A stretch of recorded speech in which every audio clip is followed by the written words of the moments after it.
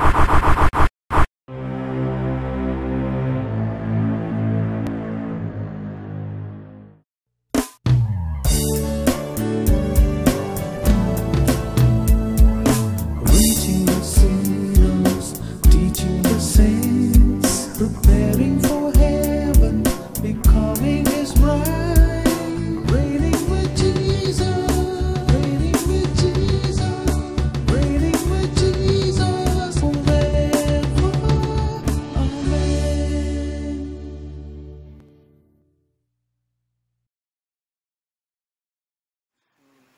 இந்த நாளிலே ரட்சிப்பை குறித்து நான் பேச விரும்புகிறேன். கடந்த வாரத்திலே கத்துடைய சமூகத்திலே காத்திருந்த போது ஆவியானவருடைய உள்ளத்திலே வைத்த ஒரு பெரிய பாரம் என்னவென்றால் இன்றைக்கு நாம் எல்லாரும் ரட்சிக்கப்பட்டவர்களா இருக்கிறோம் உண்மைதான். ஆனால் நாம் அடைந்த ரட்சிப்பிலேயே திருப்தி அடைந்து விடுகிறோம். ஆண்டவராக இயேசு நமக்காய் கல்வாரி செல்வில மறைத்தார் அடக்கம் பண்ணப்பட்டார் உயிர் தெழுந்தார் நம்முடைய பாவத்தை அவருடைய ரத்தத்தினாலே கழுவினார் சுத்திகரித்தார் நம்மை நீதிகரித்தார். நம்முடைய நீதிமான்களாய் மாற்றினார் அவருடைய பிள்ளைகளாய் புத்திர சுவிகாரம் எடுத்து நம்முடைய பிள்ளைகளாய் தெரிந்து கொண்டு அப்பா பிதாவே என்று அழைக்கிற பெரிய பாக்கியத்தை கத்த நமக்கு தந்திருக்கிறார். ஆனாலும் நாம் அடைந்த அந்த ரட்சிப்பின் அனுபவத்திலேயே நாம் தங்கி விடுகிறோம் ஆனால் முழுமையான ரட்சிப்பு என்றால் என்ன? என்பதை குறித்து இந்த காலவெளியிலே நான் பேசும்படியாய் கத்தரால் ஏவப்படுகிறேன். ஏனென்றால் அநேக புதிய விசுவாசிகள் ஞானஸ்தானம் எடுத்து சபையிலே சேர்க்கப்பட்டிருக்கிறீர்கள். ஆகவே இந்த ஒரு உபதேசம் நமக்கு மிக மிக அவசியம். ஆகவே இந்த நாளிலே நான் கத்துடைய வார்த்தையை பிரசங்கிக்கப் போவதில்லை. கத்துடைய வார்த்தையை போதிக்கும்படியாக நான் கத்தரால் ஏவப்படுகிறேன். இதை குறித்து நமக்கு ஒரு ஒரு தெளிவு அவசியம். நாம் ரட்சிக்கப்பட்டிருக்கிறோம். ரட்சிக்கப்பட்ட பிறகு என்னுடைய ஆவிக்குரிய நிலைமை எப்படி இருக்க வேண்டும்? நான் என்ன செய்ய வேண்டும்? என்னுடைய பொறுப்பு என்ன? ரட்சிக்கப்பட்ட ஒரு கத்துடைய பிள்ளையாக என்னுடைய பொறுப்பு என்ன? எப்படி நான் ஆவிக்குரிய வாழ்க்கையிலே வளர்கிறது? ஆண்டவராக இயேசுடைய வருகைக்கான நான் எப்படி ஆயத்தப்படுகிறது? இந்த ரட்சிப்பு எனக்கு எப்படி பிரயோஜனமாக இருக்கிறது நான் அடைந்த அந்த ஆதி ரட்சிப்பு அது எனக்கு போதுமா? போதுமா போதுமா போதுமா போதுமா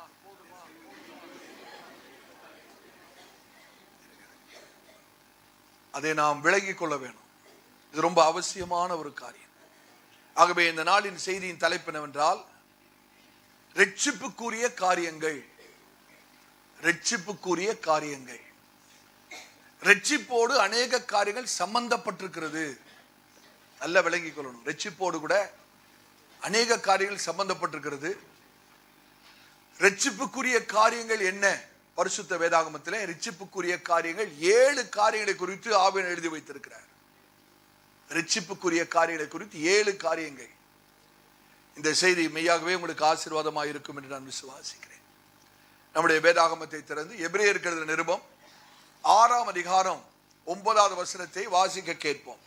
எபிரேயருக்கு எழுதின நிருபம் ஆறாம் அதிகாரம் ஒன்பதாவது வசனத்தை வாசிக்க கேட்போம். உங்களுடைய வேதாகமத்தை திறந்து இந்த வசனத்தை உங்களுடைய வேதாகமத்திலே நீங்கள் பார்க்க வேண்டும். வாசிங்க. பிரியமானவர்களே பிரியமானவர்களே நாங்கள் இப்படி சொன்னாலும் நாங்கள் இப்படி சொன்னாலும் நன்மையானவைகளும் நன்மையானவைகளும் ரட்சிப்புக்குரியவைகளுமான ரட்சிப்புக்குரியவைகளுமான காரியங்கள் காரியங்கள் உங்களிடத்தில் உண்டாயிருக்கிறது என்று நம்பியிருக்கிறோம். உங்களிடத்தில் உண்டாயிருக்கிறது என்று நம்பியிருக்கிறோம். எபிரேயரே எபிரேயருடைய ஆக்கியோனு விதமாய் எழுதுகிறார் பிரியமானவர்களே நாங்கள் இப்படி சொன்னாலும் நன்மையானவைகளும் ரட்சிப்புக்குரியவைகளுமான காரியங்கள் ரட்சிப்புக்குரிய காரியங்கள் உங்களிடத்திலே உண்டென்று நம்பியிருக்கிறோம். இங்கிலீஷ் பைபிள்ல இது கொஞ்சம் வித்தியாசமா இருக்கிறது திங்ஸ் தட் அக்காம்பனி சால்வேஷன் என்று வாசிக்கிறோம். ஆங்கில பைபிள் எப்படி இருக்குன்னா திங்ஸ் தட் அக்காம்பனி சால்வேஷன் ரட்சிப்பை ரட்சிப்பை தொடர்ந்து நடக்கக்கூடிய காரியங்கள். நம்முடைய ரட்சிப்பை தொடர்ந்து நடக்கக்கூடிய காரியங்கள். அருமையான சபையாரே நாம் ரட்சிக்கப்பட்டது உண்மை. ஆனால் அந்த ஆதி ரட்சிப்பு போதாது. ரட்சிப்புக்குரிய காரியங்கள் நிறைவேற்றப்பட வேண்டும். நம்முடைய ரட்சிப்பு பூரணப்பட வேண்டும். நம்முடைய ரட்சிப்பு நிறைவேற வேண்டும். நிறைவேற வேண்டும். இதை கிரேக்க வேதாகமத்திலே ரொம்ப அழகாக இருக்கிறது. கிரேக்க வேதாகமத்தில் இது எப்படி இருக்குது என்றால் things that echo salvation things that echo salvation அது தமிழ்ல சொல்ல வேண்டுமானால் ரெச்சிப்புடைய எதிரொலிகள் ரெச்சிப்புடைய எதிரொலிகள் நமக்கு ஒரு எதிரொலி என்னானா என்னன்னு தெரியும். இப்ப கொஞ்ச நேரத்துக்கு முன்ன கேட்டீங்கல்ல? அதான் எதிரொலி. எங்கே சத்தம் இருக்கிறதோ அங்கேதான் எதிரொலி இருக்க முடியும் எங்கே ஒரு குரல் எழுப்பப்படுகிறதோ அங்கேதான் ரெட்சிப்பு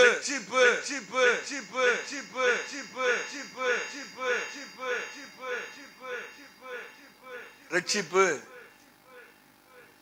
எதிரொலி இருக்கிறது பாத்தீங்களா இதைதான் பரிசுத்தாவிடம் எழுதி வைத்திருக்கிறார் ரட்சிப்பு இருக்குமானால் அதற்கு எதிரொலி இருக்கிறது. நீங்க ஒரு இடத்துல தனியா போய் நின்றுட்டு மலையில ஒரு அப்படிப்பட்ட வனாந்திரமான ஒரு இடங்கள்லாம் நின்றுட்டு நீங்க உரத்த சத்தத்தோடு கத்துவில் என்றால் திரும்ப திரும்ப திரும்ப நீங்க சொன்னது அப்படியே கேட்டுக்கிட்டே இருக்கும்.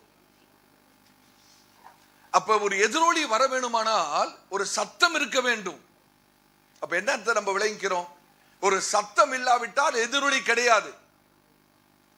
எதிரொலி தானாக உண்டாகிற ஒரு காரியம் அல்ல. ஒரு சத்தத்தினாலே உண்டாகிற ஒரு காரியமா இருக்கிறது. ஆமேன். ஒரு சத்தத்தை எழுப்பும் போது அதுல எதிரொலி உண்டாகிறது. இன்னைக்கு பரிசுத்தாவின் என்ன சொல்லுகிறார்? உங்களுடைய ரட்சிப்புக்கு எதிரொலி இருக்கிறது. ரட்சிப்புக்குரிய காரியங்கள். உங்களுடைய ரட்சிப்புக்கு அடுத்து அடுத்து நடக்க வேண்டிய சில காரியங்கள் இருக்கிறது. அந்த ஏழு காரியம் நிறைவேறினால்தான் உங்களுடைய ரட்சிப்பு பூரணம் அடையும் உங்களுடைய ரட்சிப்பு நிறைவேறும். இந்த செய்தியை நீங்க கேட்கும் போது இந்த ஏழு படிகளிலே ரட்சிப்பின் ஏழு படிகளிலே நீங்கள் எங்கே இருக்கிறீர்கள் என்பதை நீங்களே நிதானித்து அறிந்து கொள்ள வேண்டும். இந்த ஏழு படிகள் ரட்சிப்பின் ஏழு படிகளிலே நான் எங்கே இருக்கிறேன் என்பதை நீங்கள் நிதானித்து பார்த்து அடுத்த படிக்கு கடந்து வரணும். ஒருவேளை நீங்கள் முதல் படியிலே இருப்பீர்கள் என்றால் இரண்டாவது படிக்கு போகணும். ரெண்டாவது படியில இருந்தால் மூணாவது படிக்கு போகணும். இப்படி ஏழு படிகளும் நம்மளோட வாழ்க்கையில நிறைவேறும் போது ரட்சிப்பு நிறைவடைகிறது பூரணப்படுகிறது முழுமையடைகிறது. இந்த எபிரேய நிருபத்திலே ரட்சிப்பு என்ற தலைப்பின் கீழே பரிசுத்தாவின ஏழு காரியங்களை மிக தெளிவாக அழகாக எழுதி வைத்திருக்கிறார். ஏழு காரியங்கள் ரட்சிப்புக்குரிய காரியங்கள் ஏழு. பூரணத்தை குறிக்கிறது ஏழு. அந்த எண் பூரணத்தை குறிக்கிறது. அப்ப பூரணமான ரட்சிப்பு தான் தேவட நோக்கம். நாம் இன்றைக்கு அடைந்திருக்கிற ரட்சிப்பு ஆரம்பம் தான். இன்னும் பூரணப்படல ஆனா நம்முடைய ரட்சிப்பு பூரணம் அடைய வேண்டும். கத்துடைய செய்திக்கு நான் தொடர்ந்து கடந்து போவதற்கு முன்பாக இந்த எபிரேய நிருபத்தை குறித்து ஒரு சின்ன காரியத்தை சொல்கிறேன். கவனியுங்கள். இந்த முழு எபிரே நிருபத்தில் எத்தனை அதிகாரம் இருக்கிறது? எத்தனை அதிகாரம் இருக்கு? பதிமூணு அதிகாரங்கள் இருக்கு இந்த முதல் பனிரெண்டு அதிகாரங்கள் ஒரே தொடர்ச்சியாக ஆவியனர் எழுதி வைத்திருக்கிறார். நல்ல கவனிங்க. நீங்க எபிரேய நிருபத்தை எப்படி வாசிக்க வேண்டும் என்று சொல்லிக் கொண்டிருக்கிறேன். இதுல பதிமூன்று அதிகாரங்கள் இருக்கிறது. ஒன்றிலிருந்து பன்னெண்டு அதிகாரங்கள் வரைக்கும் தொடர்ச்சியான அதிகாரங்கள். ஆனால் கடைசி அதிகாரம் பதிமூன்றாவது அதிகாரம் வித்தியாசம். அந்த பதிமூன்றாவது அதிகாரத்துக்கு வருவீங்கன்னா ஒரு வசனத்துக்கு இன்னொரு வசனத்துக்கு சம்பந்தமே இருக்காது. ஒவ்வொரு வசனமும் ஒரு ஒரு செய்தி. முதல் வசனத்துல ஒரு செய்தி. ரெண்டாவது வசனத்துல இன்னொரு செய்தி. மூன்றாவது வசனத்துல வேற செய்தி. ஆனால் முதல் பனிரெண்டு அதிகாரங்கள் தொடர்ச்சியாக எழுதப்பட்டது. இந்த முதல் தொடர்ச்சியாக எழுதப்பட்ட பனிரெண்டு அதிகாரங்களின் கருப்பொருள் என்னவென்றால் ரட்சிப்பு தான். அப்ப நீங்க எபிரே நிருபத்தை வாசிக்கும் போது ஒரு அதிகாரத்தையோ ரெண்டு அதிகாரத்தையோ வாசித்துட்டு நிறுத்திடக்கூடாது. எப்ரே நிருபத்தை வாஸ் மாத்திரம் நீங்க வாசிக்கும் போது எப்படி வாசிக்கணும்னா தொடர்ச்சியா ஒன்றுல இருந்து பன்னெண்டு வரைக்கும் வாசித்து முடிச்சிடணும். பதிமூன்றாவது அதிகாரத்தை அப்புறம் கூட வாசிக்கலாம் ஏன்னா அந்த தொடர்ச்சி விட்டு விட விட்டு விடக்கூடாது. உதாரணத்துக்கு சொல்றேன் பாருங்களேன். ரெண்டாவது அதிகாரத்தின் முதல் வசனம் முதல் அதிகாரத்துடைய கடைசி வசனத்தோட தொடர்ச்சி தான். நல்லா கவனிக்கிறீங்களா? ரெண்டாவது அதிகாரத்தோட முதல் வசனம் முதல் அதிகாரத்தோட கடைசி வசனத்துடைய தொடர்ச்சியா இருக்கிறது. உதாரணத்துக்கு ரெண்டாவது அதிகாரத்துல முதல் வசனத்தை வாசிங்க. ஆகையால் போதும். ஆகையால் ஆகையால்னு நம்ம வேதத்துல வரும்போது முன்னாடி இருக்கிற வசனத்தோடு தொடர்புடையதா இருக்கிறது. மூன்றாவது அதிகாரம் ஒன்றாவது வசனத்தை வாசிங்க. இப்படி இருக்க. இப்படி இருக்க அப்படின்னா ரெண்டாவது அதிகாரத்தோட தொடர்ச்சியா இருக்கிறது. இப்படி நீங்க ஒவ்வொரு அதிகாரத்தையும் பாத்தீங்கன்னா பன்னெண்டு அதிகாரமும் தொடர்ச்சியாகவே இருக்கும். ஆமென் it is continuous it is return concurrently ஆவியானவர் ஏன் அப்படி எழுதி வைத்திருக்கிறார் என்றால் அந்த முதல் பன்னெண்டு அதிகாரமே ரட்சிப்பை குறித்ததான அதிகாரம். ஒரே ஒரு சப்ஜெக்ட் தான்.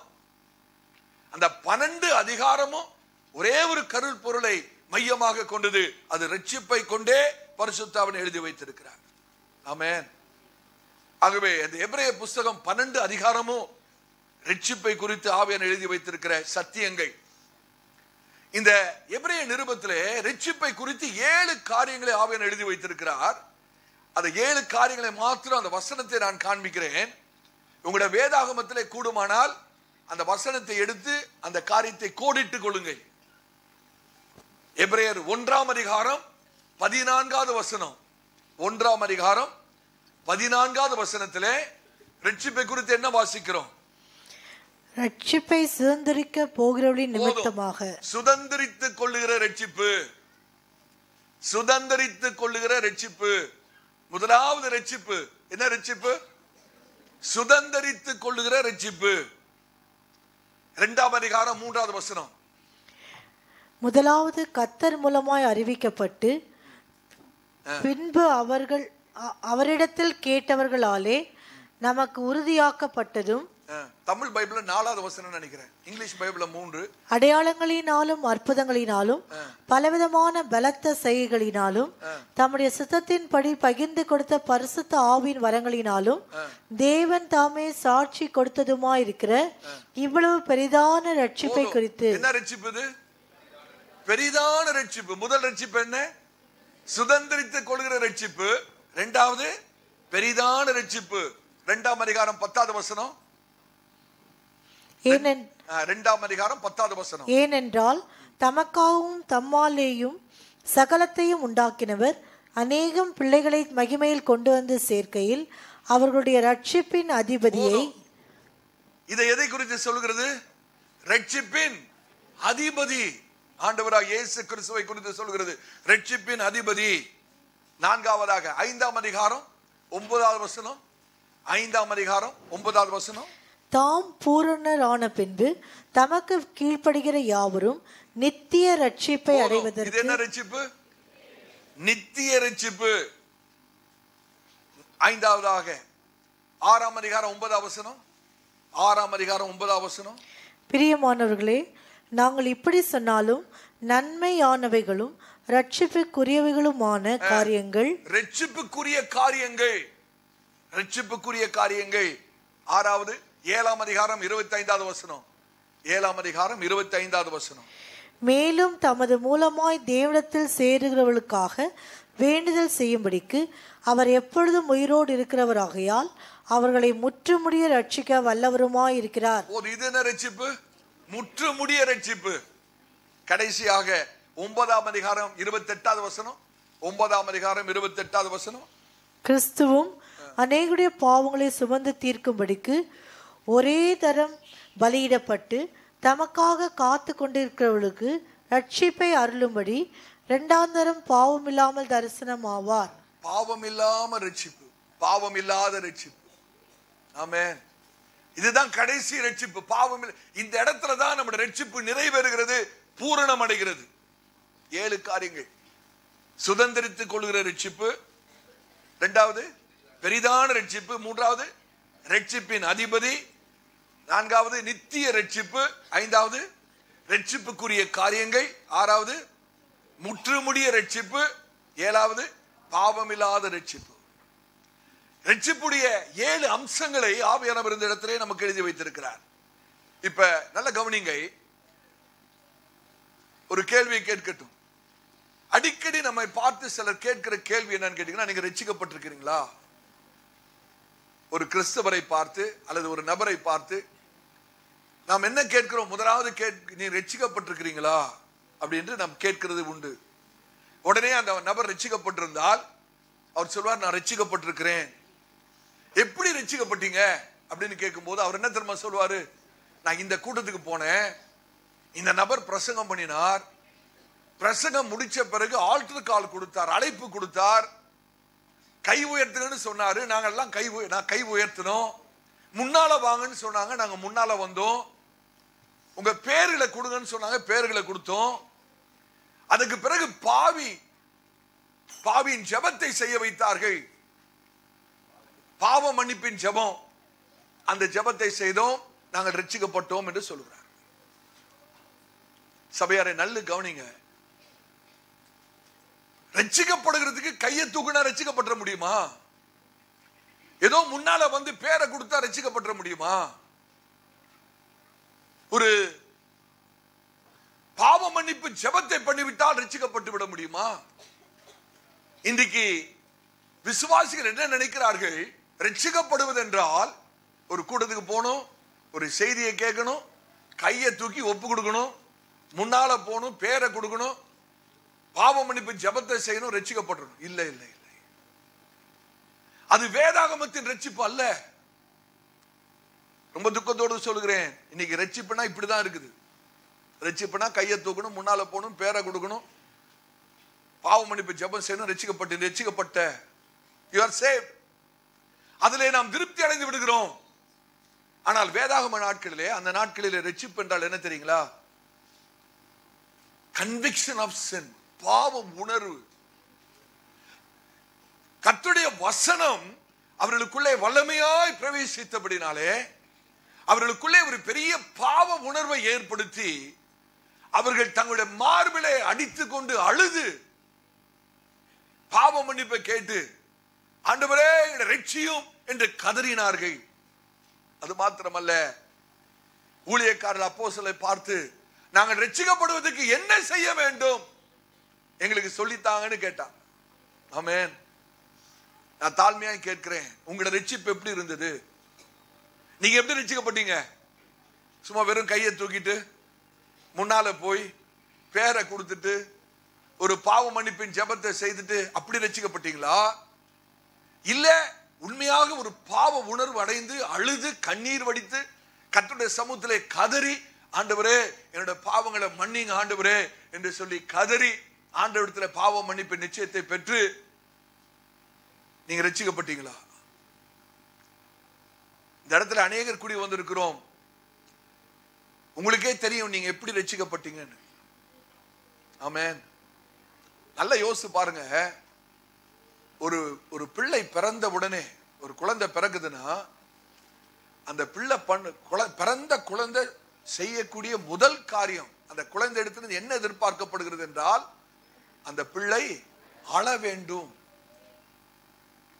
ஒருவேளை அந்த பிறந்த பிள்ளை அழலைன்னா அந்த நர்ஸ் அம்மா என்ன பண்ணுவாங்க? ஒரு கிள்ளி கிள்ளியாச்சும் அள வைப்பாங்க. நான் நினைக்கிற ஊழியக்காரர்கள் இப்படியாச்சும் அள வைக்கணும்னு நினைக்கிறேன். அந்த பிள்ளை அழாவிட்டால் அந்த பிள்ளையில ஜீவன் இல்லை என்று அர்த்தம். செத்த பிள்ளையாய் பிறந்திருக்கிறது என்று அர்த்தம். அருமையான சபையாரே நம்முடைய ரட்சிப்பிலே அந்த கண்ணீர் இருந்ததா? அந்த பாவ உணர்வி வந்தபடினாலே ஆண்டுடைய சமூகத்தில் கதறி அழுத அனுபவம் உண்டா? அதுதான் ரட்சிப்பின் அடையாளம். இன்னைக்கு ஒருவேளை அப்படிப்பட்ட ரட்சிப்பை நாம் பெறாமல் இருப்போமானால் மறுபடியுமாக ரட்சிக்கப்பட வேண்டும். அப்படிப்பட்ட ஒரு பாவ உணர்வு நமக்குள்ள ஏற்பட்டு ஆண்டுடைய சமூகத்திலே கதறி அழுது ஆண்டவரே நான் ரட்சிக்கப்பட என்ன செய்யணும்னு கேட்கணும். ஆமேன். அப்போ சில நடவடிக்கை ரெண்டாம் அதிகாரத்தை நீங்க வாசித்து பாருங்க. அந்த இடத்துல பேதுரு பிரசவம் பண்ணுகிறார். முப்பத்தி ஏழு முப்பத்தெட்டு வசனை வாசிங்க. அப்போ சில நடவடிக்கைகள் ரெண்டாம் அதிகாரம் முப்பத்தி முப்பத்தி ஆறு முப்பத்தி ஏழு வாசிங்க. ஆகையினால். நீங்கள் சிலுவையில் அறைந்த இந்த இயேசுவையே தேவன் ஆண்டவரும் கிறிஸ்துவும் ஆக்கினார் என்று ஆ. இஸ்ரவேல் குடும்பத்தார் யாவரும் நிச்சயமாய் அறிய கடுவர்கள் என்றான். இஸ்ரவேல் குடும்பத்தார் அனைவரும் நிச்சயமாய் அறிய கடவர் இயேசுதான் தெய்வம் என்பதை நீங்கள் அறிய கடவர்கள். இதை அவர்கள் கேட்டபொழுது இதை அவர்கள் கேட்டபோது இருதயத்திலே குத்தப்பட்டவர்களாகி இருதயத்திலே குத்தப்பட்டவராகி மனஸ்தாபப்பட்டு பாவ உணர்வு அடைந்து பேதுருவையும் மற்ற அப்போஸ்தலரையும் பார்த்து பேதுருவை மற்ற அப்போஸ்தலரையும் பார்த்து சகோதரரே நாங்கள் என்ன செய்ய வேண்டும் என்றார்கள். சகோதரரே நாங்கள் என்ன செய்ய வேண்டும்? இருதயத்தில் குத்தப்படுகிறோம் வாதிக்கப்படுகிறோம் பாவ உணர்வு ஏற்பட்டிருக்கிறது. எங்களுக்கு என்ன செய்யறதுன்னு தெரியல. நாங்கள் என்ன செய்ய வேண்டும் என்று கேட்கிறார்கள். ஆமேன். நம்முடைய ரட்சிப்பு இப்படிதான் இருக்கணும். இதுதான் சரியான ரட்சிப்பு. நீங்க ரட்சிக்கப்பட்ட போது இருதயத்துல குத்தப்பட்டீங்களா? மனசாட்சியில பாதிக்கப்பட்டீங்களா பாவ உணர்வு ஏற்பட்டு இருந்ததா நீங்க கண்ணீர் வடித்தீங்களா? உங்களை பாவத்துக்காக அழுதீங்களா? எத்தனை பேர் அழுதுன்னு சொல்ல முடியும்? உங்களோட கரங்களை பார்க்கட்டுமா? கத்தர் பார்க்கிறார். நான் ரட்சிக்கப்பட்ட போது என்னோட பாவத்துக்காக நான் மனசாப்பட்டு கண்ணீர் வடித்தேன். கதறி அழுதேன். ஹalleluya பாக்கியமுள்ள ரட்சிப்பு ஆசீர்வாதமான ரட்சிப்பு உண்மையான ரட்சிப்பு ஹalleluya ஒருவேளை நீங்க ரட்சிக்கப்பட்ட போது நான் அழவே இல்லை பாஸ்டர் அப்படின்னா மறுபடியும் அழுது ரட்சிக்கப்படணும் ஆமேன் அதுதான் உண்மையான ரட்சிப்பு இன்றைக்கு ஆவிக்குரிய நிலைமை எப்படி இருக்கிறது என்றால் கத்துடைய பிள்ளைகள் விசுவாசிகள் பாவம் செய்து விடுகிறார்கள். துணிகரமா பாவம் செய்துடுறாங்க. துணிகரமா பாவம் செய்துட்டு பாவ அறிக்கைன்னு வரும்போது இவங்களோட அறிக்கையை யாரும் கேட்டக்கூடாதான் அதனால மனசுக்குள்ளேயே ஆண்டவரே என்னுடைய எல்லா பாவங்களையும் எனக்கு மன்னிங்க ஆண்டவரே. செய்தது துணிகரம். துணிகரமான பாவத்தை செய்துட்டு எல்லாருக்கும் தெரியற தெரியற விதமா பாவத்தெல்லாம் செய்துட்டு மறைமுகமான ஒரு பாவ மன்னிப்பு பாவ அறிக்கை. ஏன்னா அவங்க பண்ற பாவ அறிக்கை வெளியே கேட்டக்கூடாதான் மற்றவங்களுக்கு தெரிஞ்சிடக்கூடாதான் செய்த பாவம் தான் எல்லாத்துக்குமே தெரிஞ்சிருச்சே. இன்னும் அறிக்கையை மறிச்சு என்ன பிரயோஜனம்? ஆமே அந்த பாவ மன்னிப்பின் ஜெபத்தை சொல்லி கொடுக்கறதுக்கு ஊழியக்காரங்க வேற இருக்கிறாங்க. ஊழியக்காரர் ஒரு ஜெபத்தை சொல்லுவாரு. அவரு மொன மொன மொனன்னு ஒரு கிளி பின்னால கிளி கிளி சொல்லும் பார்த்தீங்களா? சொல்றதே அப்படியே திருப்பி சொல்லும். கிளிப்புள்ள மாதிரி திருப்பி சொல்றது. பாவம் மன்னி மன்னி மன்னி பாவம் எங்களை பாவம் மன்னிச்சிருச்சு நம்ம நினைச்சுக்கிட்டோம் இதுவா ரட்சிப்பு? இல்லை அருமையான சகோதரி சகோதரியே. ஒரு ஜெபத்தை பின்னால இன்னொருத்தவங்க பின்னால சொல்லி நம்ம ரட்சிக்கப்பட்டு விட்டோம் என்று நினைத்து விடக்கூடாது. ஒரு பாவ மன்னிப்பின் ஜெபம் செய்யப்படுகிறது நல்லது ஆனால் இருதயத்திலே குத்துண்டவர்களாக மனசாட்சியிலே பாதிக்கப்பட்டவர்களாக கண்ணீர் வடித்து சொன்னா அதுல அர்த்தம் இருக்கிறது. இருதயம் உடைக்கப்படணும். அப்படிப்பட்ட ஒரு ரட்சிப்பு நம்முடைய ரட்சிப்பா இருக்கணும். அது நம்முடைய இரட்சிப்பு நம்முடைய இருதயத்தை சார்ந்தது. இருதயத்தோடு கூட தொடர்புள்ளதா இருக்கிறது. உண்மையான ஒரு மன உடைப்போடு இருதயம் உடைக்கப்பட்டு மன கசந்து இன்னைக்கு அநேகருடைய பாவ அறிக்கை எப்படி இருக்குன்னா ஆண்டவரே என்னுடைய எல்லா பாவத்தையும் மன்னிச்சிடும் இவங்க செய்த பாவம் ஒரு ஏராளமா இருக்கும். ஒரே லைன் எல்லா பாவத்தையும் மன்னிச்சிடும் மன்னிச்சிருமா? செய்த ஒவ்வொரு பாவத்தையும் தனித்தனியாய் அறிக்கையிட வேண்டும். ஏராளமான பாவத்தை செய்துட்டு ஒரே லைன்ல மன்னிப்பு. நம்மளே ஏமாத்திக்கிறோம்.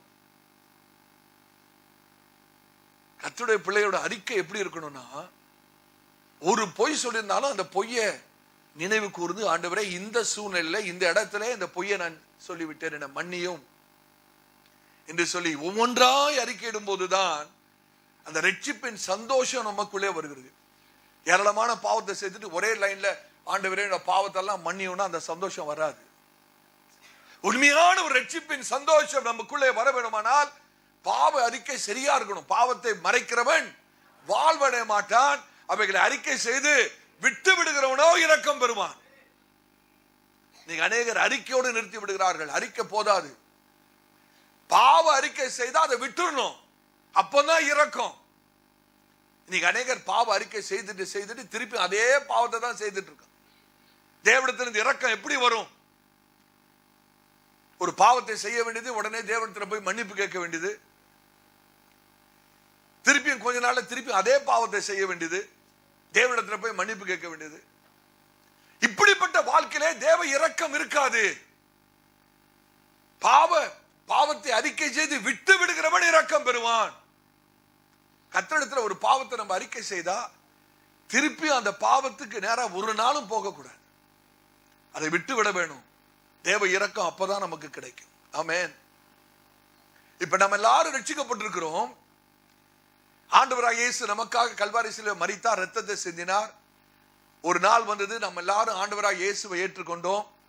நீங்க எப்படி ஏற்றுக்கொண்டீங்கன்னு எனக்கு தெரியல. உண்மையாகவே மனம் கசந்து அழுது இருதயத்தை உடைக்கப்பட்டு மார்பிள் அடித்து கொண்டு ஆண்டவரே என்னை மன்னியும் சொல்லி ரசிக்கப்பட்டீங்களா இல்லை வெறும் கையை தூக்கி ரசிக்கப்பட்டீங்களான்னு எனக்கு தெரியாது. அது உங்களுக்கும் ஆண்டுக்குள்ள காரியம்.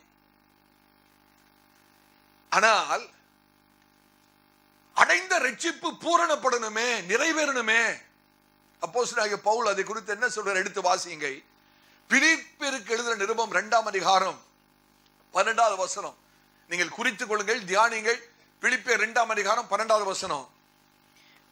ஆதலால் ஆதலால் எனக்கு பிரியமானவர்களே எனக்கு பிரியமானவர்களே நீங்கள் எப்பொழுதும் கீழ்ப்படுகிறபடியே நீங்கள் எப்போதும் கீழ்ப்படுகிறபடியே நான் உங்களுக்கு சமீபமாய் இருக்கும் பொழுது மாத்திரமல்ல நான் தூரமாய் இருக்கிற இப்பொழுதும் அதிக பயத்தோடும் அதிக பயத்தோடும் நடுக்கத்தோடும் நடுக்கத்தோடும் உங்கள் ரட்சிப்பு நிறைவேற பிரயாசப்படுங்கள். உங்கள் ரட்சிப்பு நிறைவேற பிரயாசப்படுங்கள். நீங்கள் ரட்சிக்கப்பட்டது போதாது. ரட்சிக்கப்பட்டது உண்மை ஆண்டவராய் இயேசுவை ஏற்றுக்கொண்டது உண்மை பாவ மன்னிப்பு நிச்சயத்தை பெற்றது உண்மை. ஆனால் அந்த ரட்சிப்பு நிறைவேறணுமே. பயத்துடனும் நடுக்கத்துடனும் உங்கள் ரட்சிப்பு நிறைவேற. பிரயாசப்படுங்கள். நான் கேட்கட்டும் சபையாரே. நீங்க ரட்சிப்பு நிறைவேற என்ன பிரயாசம் எடுக்கிறீர்கள்? இதுவரைக்கும் ரட்சிப்பு நிறைவேற. உங்களோட வாழ்க்கையில என்ன பிரயாசம் எடுத்திருக்கிறீர்கள்? இங்கிலீஷ் பைபிள் ரொம்ப அழகா இருக்கு. With fear and trembling work out your salvation work out your salvation with fear and trembling பயத்துடனும் நடுக்கத்துடனும் உங்களுடைய ரட்சிப்பு நிறைவேற பிரயாசப்படுங்கள். ரட்சிப்பு நிறைவேற பிரயாசப்படுங்கள். அப்ப ரட்சிப்பு நிறைவேற வேணுமே. ரட்சிப்பு முழுமையடைய வேணுமே. அதுக்கு நம்ம என்ன முயற்சி எடுத்திருக்கிறோம்? என்ன பிரயாசப்பட்டிருக்கிறோம்?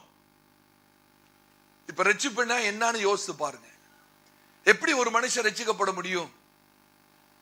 நல்ல கவனிக்கணும். நான் படிப்படியாக சொல்லி கொண்டு வரப்போகிறேன். நீங்கள் அதை ஒவ்வொரு படிக்கு வரும்போது நீங்க எங்க இருக்கிறீங்க எந்த படியில் இருக்கிறீங்க என்பதை நீங்கள் நிதானித்துக் கொள்ள வேணும் நீங்க ஒரு தீர்மானம் எடுக்கணும் ஆண்டவரே. நான் ரட்சிக்கப்பட்டேன் அதற்காக சோத்திரம். ஆனா என்னோட ரட்சிப்பு நிறைவேறணுமே. என்னோட ரட்சிப்பு முழுமை அடையணுமே. என்னோட ரட்சிப்பு பூரணப்படணுமே. நான் அதுக்கு பிரயாசப்படணும். அப்போ பவுல் எவ்வளவு கெ- தெளிவா சொல்றாரு பாருங்க. பயத்துடனும் நடுக்கத்துடனும். ரட்சிப்பு நிறைவேற பிரயாசப்படுங்கள். இங்கிலீஷ்ல ஒர்க் அவுட்னு போட்டிருக்கு. ஒரு சரீரத்தை நாம் சீர்படுத்த வேணுமானால் என்ன பண்றாங்க? ஜிம்முக்கு போய் எக்ஸசைஸ் பண்றாங்க. இல்லையா? ஒரு உடற்பயிற்சி. சரீரம் சரியா இருக்கணும்னா ஒரு எக்ஸசைஸ் நம்முடைய சரீரத்துக்கு ஒரு உடற்பயிற்சி அவசியம். குறைஞ்சது ஒரு வாக்கிங் ஆச்சும் போடும் அப்பதான் சரீரம் நல்ல சுகமா இருக்கும். இல்ல நான் வெறும் சாப்பிட்டுக்கிட்டே இருப்பேன். ஒரு எக்ஸசைஸும் பண்ண மாட்டேன். அப்படின்னா அந்த சரீரத்தில் வெறும் கொழுப்பு தான் சேர்ந்துருக்கும். சத்து இருக்காது பலன் இருக்காது வெறும் கொழுப்பு தான் இருக்கும். அந்த சரீரத்தில் பார்த்தீங்கன்னா எல்லா வியாதியும் இருக்கும். சுகர் இருக்கும் பிபி இருக்கும் கொலஸ்ட்ரால் இருக்கும் ஹார்ட் ப்ராப்ளம் இருக்கும் எல்லாமே இருக்கும். ஏன் தெரியுமா? எக்ஸசைஸே கிடையாது அந்த சரீரத்துக்கு. இன்னைக்கு அநேகர் ஆவிக்குரிய ரீதியிலே சுகவீனமாக வியாதியா இருக்கிறதுக்கு காரணம் இந்த ரட்சிப்பு நிறைவேற அவர்கள் அப்பியாசம் இல்லை பிரயாசம் இல்லை பயிற்சி இல்லை. இப்ப ரட்சிப்பிட முதல் படி என்ன? நாம் எல்லாரும் எப்படி ரட்சிக்கப்பட்டோம் நீங்க எப்படி ரட்சிக்கப்பட்டீங்க அந்த வசனத்தை வாசிங்க. அப்போ நடவடிக்கை பதினாறாம் அதிகாரம் முப்பத்தி ஓராவது வசனம். அப்போ நடவடிக்கை பதினாறாம் அதிகாரம். இதுதான் ரட்சிப்பின் முதல் படி முப்பத்தி ஓராவது வசனம். அதற்கு அவர்கள் அதற்கு அவர்கள் கத்தராகிய இயேசு கிறிஸ்துவை விசுவாசி கத்தராகி இயேசு கிறிஸ்துவை விசுவாசி அப்பொழுது நீயும் உன் வீட்டாரும் ரட்சிக்கப்படுவீர்கள் என்று சொல்லி அப்பொழுது நீயும் உன் வீட்டாரும் ரட்சிக்கப்படுவீர்கள் போதும். கத்தராகி இயேசு கிறிஸ்துவை நீ விசுவாசி அப்பொழுது நீயும் உன் வீட்டாரும் ரட்சிக்கப்படுவீர்கள் இதுதான் ரட்சிக்கப்படுறதுக்கு முதல் படி. அந்த முதல் படி என்ன? விசுவாசம். விசுவாசம். அவர்கள் கேட்ட கேள்வி என்ன? முப்பதாவது வசனத்தை வாசிங்க கேட்ட கேள்வி என்ன? அவர்களை வெளியே அழைத்து வந்து அவர்களை வெளியே அழைத்து வந்து ஆண்டவமாரே ஆண்டவன்மாரே ரட்சிக்கப்படுவதற்கு நான் என்ன செய்ய வேண்டும் என்றான். ரட்சிக்கப்படுவதற்கு அந்த சிறைச்சாலை தலைவன் நான் ரட்சிக்கப்படுவதற்கு நான் என்ன செய்ய வேண்டும்? அப்பொழுது பவுல் சொல்கிறார் அதற்கு அதற்கு அவர்கள் அவர்கள் கத்தராகிய இயேசு கிறிஸ்துவை விசுவாசி. கத்ரா இயேசு கிறிஸ்துவை விசுவாசி. அப்பொழுது நீயும் உன் வீட்டாரும் ரட்சிக்கப்படுவீர்கள் அப்போது நீ உன் வீட்டார் ரட்சிக்கப்படுவ இந்த வசனத்தின் அடிப்படையிலே நான் உங்களை கேட்பேன் நாள் எத்தனை பேர் ரட்சிக்கப்பட்டிருக்கிறீங்க அப்படின்னு கேட்டா கேட்கலாமா? இந்த வசனத்தின் அடிப்படையில் எத்தனை பேர் ரட்சிக்கப்பட்டிருக்கிறீங்க நான் சொல்றது விளங்கலையா உங்களுக்கு? ஈப்ரூல சொல்லிட்டா? இந்த வசனத்தின் அடிப்படையில் விசுவாசியுங்கள். கத்தராக இயேசு கிறிஸ்து விசுவாசி அப்பொழுது நீங்களும் விட்டா வீட்டார் இந்த வசனத்தின் அடிப்படையில் எத்தனை பேர் ரசிக்கப்பட்டிருக்கிறீங்க கத்தருக்கு சோத்திரம். ஆமேன். எனக்கு தெரியும் நீங்க எல்லாருமே கையை உயர்த்துவீங்கன்னு. ஏனென்றால் நாம் எல்லாருமே ஆண்டவராக இயேசுவை விசுவாசிக்கிறவர்கள். கத்தர் உங்களை ஆசீர்வதிப்பாராக. ஆனால் கேள்வி என்ன? உங்களுடைய விஸ்- இந்த ரட்சிப்பு விசுவாசித்து ரட்சிக்கப்பட்டீர்களே அந்த ரட்சிப்பு நிறைவேற பிரயாசப்படுகிறீர்களா? இந்த ரட்சிப்பு நிறைவேற நம்ம ஏதாவது முயற்சி எடுக்கிறோமா? பிரயாசப்பட்டிருக்கிறோமா? ரட்சிப்பை கத்தர் ஆரம்பித்திருக்கிறார். ஆனா ரட்சிப்பு பூரணம் அடையணும் நிறைவேறணும். அதற்கு நம்ம என்ன பிரயாசத்தை எடுக்கிறோம்? அப்ப ரட்சிப்பின் முதல் படி என்ன? விசுவாசம். நான் ஆண்டவராக இயேசுவை விசுவாசித்தேன். நான் ரட்சிக்கப்பட்டிருக்கிறேன். முதல் படி. இரண்டாவது படி. மார்க் எழுதின சுவிசேஷம் பதினாறாம் அதிகாரம் பதினாறாவது வசனம். மார்க் எழுதின சுவிசே- சுவிசேஷம் பதினாறாம் அதிகாரம் பதினாறாம் வசனம். நம்மளுக்கு எல்லாருக்கும் தெரிந்த வசனம். விசுவாசம் உள்ளவனாகி விசுவாசம் உள்ளவனாகி விசுவாசித்தால் மாத்திரம் போதாது. நல்ல கவனிங்க. விசுவாசித்து ரட்சிக்கப்பட்டோம் ஆனால் விசுவாசித்தால் மாத்திரம் போதாது. விசுவாசம் உள்ளவனாகி ஞானஸ்தானம் பெற்றவன் ரட்சிக்கப்படுவான். ஞானஸ்தானம் பெற்றவன் ரட்சிக்கப்படுவான். இப்ப உங்களுடைய ரட்சிப்பு நிறைவேற பிரயாசப்படுங்கள். அந்த பிரயாசத்துல முதல் பிரயாசம் என்ன? முதல் நம்ம எடுக்கிற முதல் பிரயாசம். விசுவாசிக்கிறோம். அப்ப ரெண்டாவது பிரயாசம்? ஞானஸ்தானம். இதுதான் ரெண்டாவது படி. சபையாரே நல்ல கவனிங்க நம்ம ஆண்டவராக இயேசு விசுவாசித்த உடனே நம்ம என்ன ஆயிடுறோம்? ரட்சிக்கப்பட்டுறோம். ஆனா அந்த ரட்சிப்பை உறுதிப்படுத்துகிறது நம்முடைய ஞானஸ்தானம். யாராவது ஒரு நபர் நான் ஆண்டவராய் இயேசு விசுவாசிக்கிறேன் விசுவாசிக்கிறேன் என்று சொல்லிக்கொண்டு ஞானஸ்தானம் எடுக்காமல் இருப்பார் என்றால் அவருடைய விசுவாசம் வீண் என்று சொல்லுகிறேன். கேக்குறீங்களா? யாராவது ஒரு நபர் நானும் ஆண்டவராய் இயேசுவை நம்புறேன் விசுவாசிக்கிறேன்னு சொல்லிட்டு ஞானஸ்தானம் எடுக்காமலே இருந்தா அந்த நபருடைய விசுவாசம் வீண். ஆமே நம்முடைய ரட்சிப்பு அந்த இரண்டாவது படியாகிய ஞானஸ்தானத்தோடு கூட இணைந்திருக்கிறது. இப்போ ஒரு வசனத்தை வாசிங்க. எபேசியர் இரண்டாம் அதிகாரம் எட்டாவது வசனம். எபேசியர் இரண்டாம் அதிகாரம் எட்டாவது வசனம். சீக்கிரமா வாசிங்க. எபேசியர் ரெண்டு எட்டு.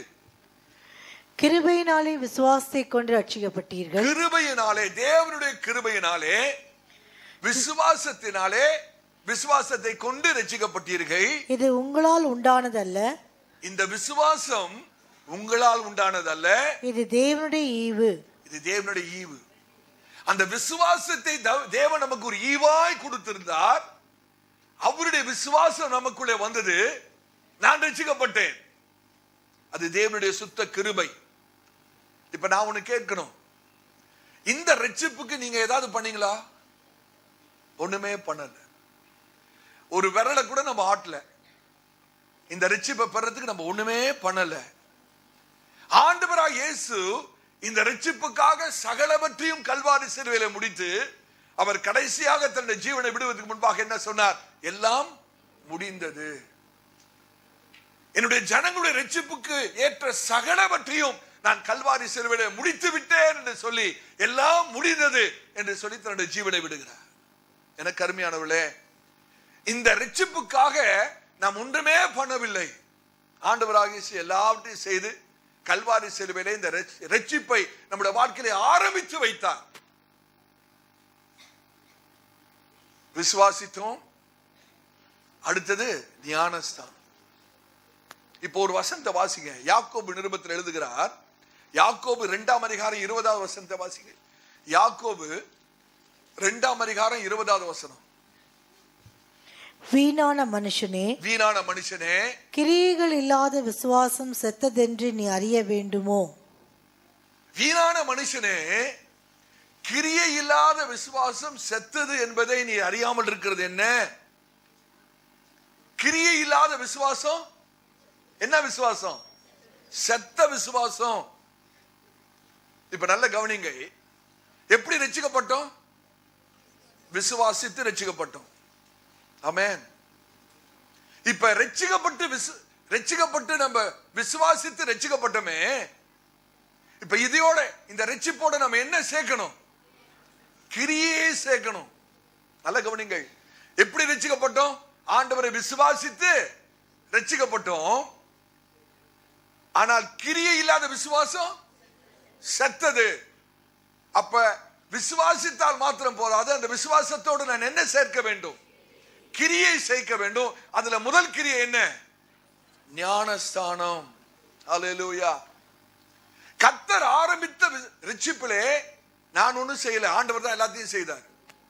கல்வாரி சிலுவையில் அவர்தான் மறித்தார் அவர்தான் ரத்தம் சிந்தினார். அவர்தான் என்னை மீட்டுக் கொண்டார். நான் விசுவாசித்தேன். அவருடைய கிருபினால ரசிக்கப்பட்டேன் ஆனால் நான் விசுவாசித்து ரசிக்கப்பட்டனே அந்த விசுவாசத்துக்கு என்ன வேணும்? கிரியை வேணும். அந்த கிரியை இல்லாவிட்டால் அந்த விசுவாசம் என்னது? செத்தது. அப்ப நான் கிரியை அந்த விசுவாசத்தோடு சேர்க்கும் போதுதான் அந்த ரட்சிப்பு நிறைவேறுகிறது.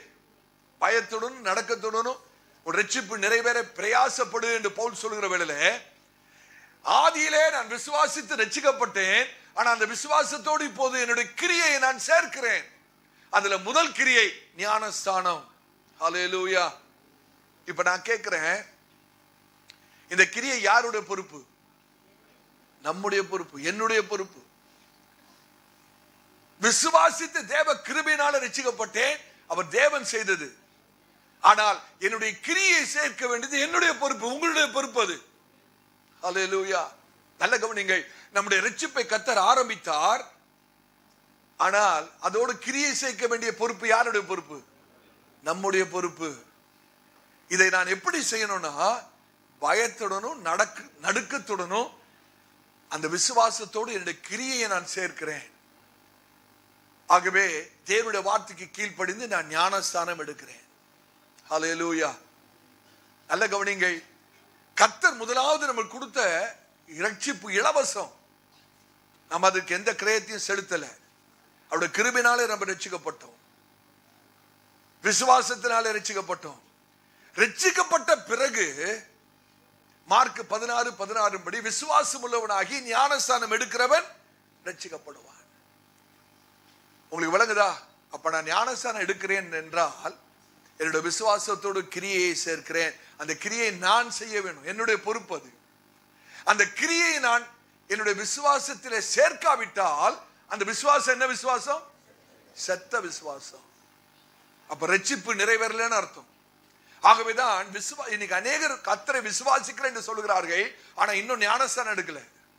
அப்ப அவருடைய விசுவாசம் என்ன விசுவாசம்? செத்த விசுவாசம். அந்த செத்த விசுவாசத்தில் ரச்சிக்கப்பட முடியுமா? ரச்சிக்கப்பட முடியாது. ஆகவேதான் ஞானஸ்தானம் எடுக்கும் போது நம்முடைய கிரியை சேர்க்கும் போது அந்த ரட்சிப்பு நிறைவேறுகிறது. ஹalleluya. இரண்டாவது படிக்க நம்ம கட்டத்துக்கு வருகிறோம். ஹalleluya. இதை இதை நாம் செய்ய வேணும் நான் செய்ய வேணும். ஒருவேளை இந்த ஆராதனை இன்னும் ஞானஸ்தானம் எடுக்காம யாராவது இருப்பீங்க என்றால் உங்களுடைய விசுவாசத்தோடு என்ன சேர்க்கணும்? கிரியை சேர்க்கணும். அந்த கிரியை என்ன? ஞானஸ்தானம். அப்பதான் உங்களுடைய விசுவாசம் உயிருள்ள விசுவாசம். அப்படி இல்லைன்னா செத்த விசுவாசம். இந்த கிரியை என்னுடைய பொறுப்பு உங்களுடைய பொறுப்பு. இந்த முதல் கிரியை நான் செய்யும் போது ஞானஸ்தானம் என்ற கிரியையை நான் நான் செய்கிற வேளையிலே நான் ரட்சிப்பு நிறைவேற பிரயாசப்படுகிறேன். பிரயாசப்படுகிறேன். நல்ல கவனிங்க அருமையான சபையாரே. Salvation without water baptism is vain விசுவாசத்துடன் ரட்சிக்கப்பட்டுரும். ஆனா ஞானஸ்தானம் எடுக்கலன்னா அந்த ரட்சிப்புக்கு அர்த்தமே கிடையாது. ஆமேன். நீங்க விளங்கிக் கொள்கிறீங்களா? நல்ல கவனிக்கிறீங்களா? அந்த ரட்சிப்பு நிறைவேற வேண்டுமானால் நான் ஞானஸ்தானம் எடுக்க வேண்டும். அந்த ரட்சிப்போடு நான் கிரியை சேர்க்காவிட்டால் அந்த விசுவாசத்துக்கு எந்த அர்த்தமும் கிடையாது. ஏன்னா வேதம் தெளிவாய் சொல்கிறது கிரியை இல்லாத விசுவாசம் செத்தது. கீழ்ப்படிதல் இல்லாத விசுவாசம் தைரியமா சொல்லுங்களேன் செத்தது. ஞானஸ்தானம் இல்லாத விசுவாசம் செத்தது. அப்ப நம்மளோட விசுவாசத்தோடு கிரியை சேர்க்கணும். நீங்க கீழ்ப்படியும் போது என்ன பண்றீங்கன்னா உங்க விசுவாசத்தோடு என்ன பண்றீங்க? உங்களோட விசுவாசத்தோடு கிரியை சேர்க்கிறீங்க. நீங்க ஒவ்வொரு விஷயம் நீங்க கீழ்ப்படுகிற வேலையில கத்துடைய வார்த்தை கீழ்ப்படியும் போது நீங்க பிரயாசப்படுறீங்க. உங்களோட விசுவாசத்தோடு கிரியை சேர்க்கிறீங்க. நல்ல கவனிங்க இன்னைக்கு அநேகர் சொல்கிறார்கள் நீங்க விசுவாசிச்சா போதும் அற்புதம் நடக்கும்.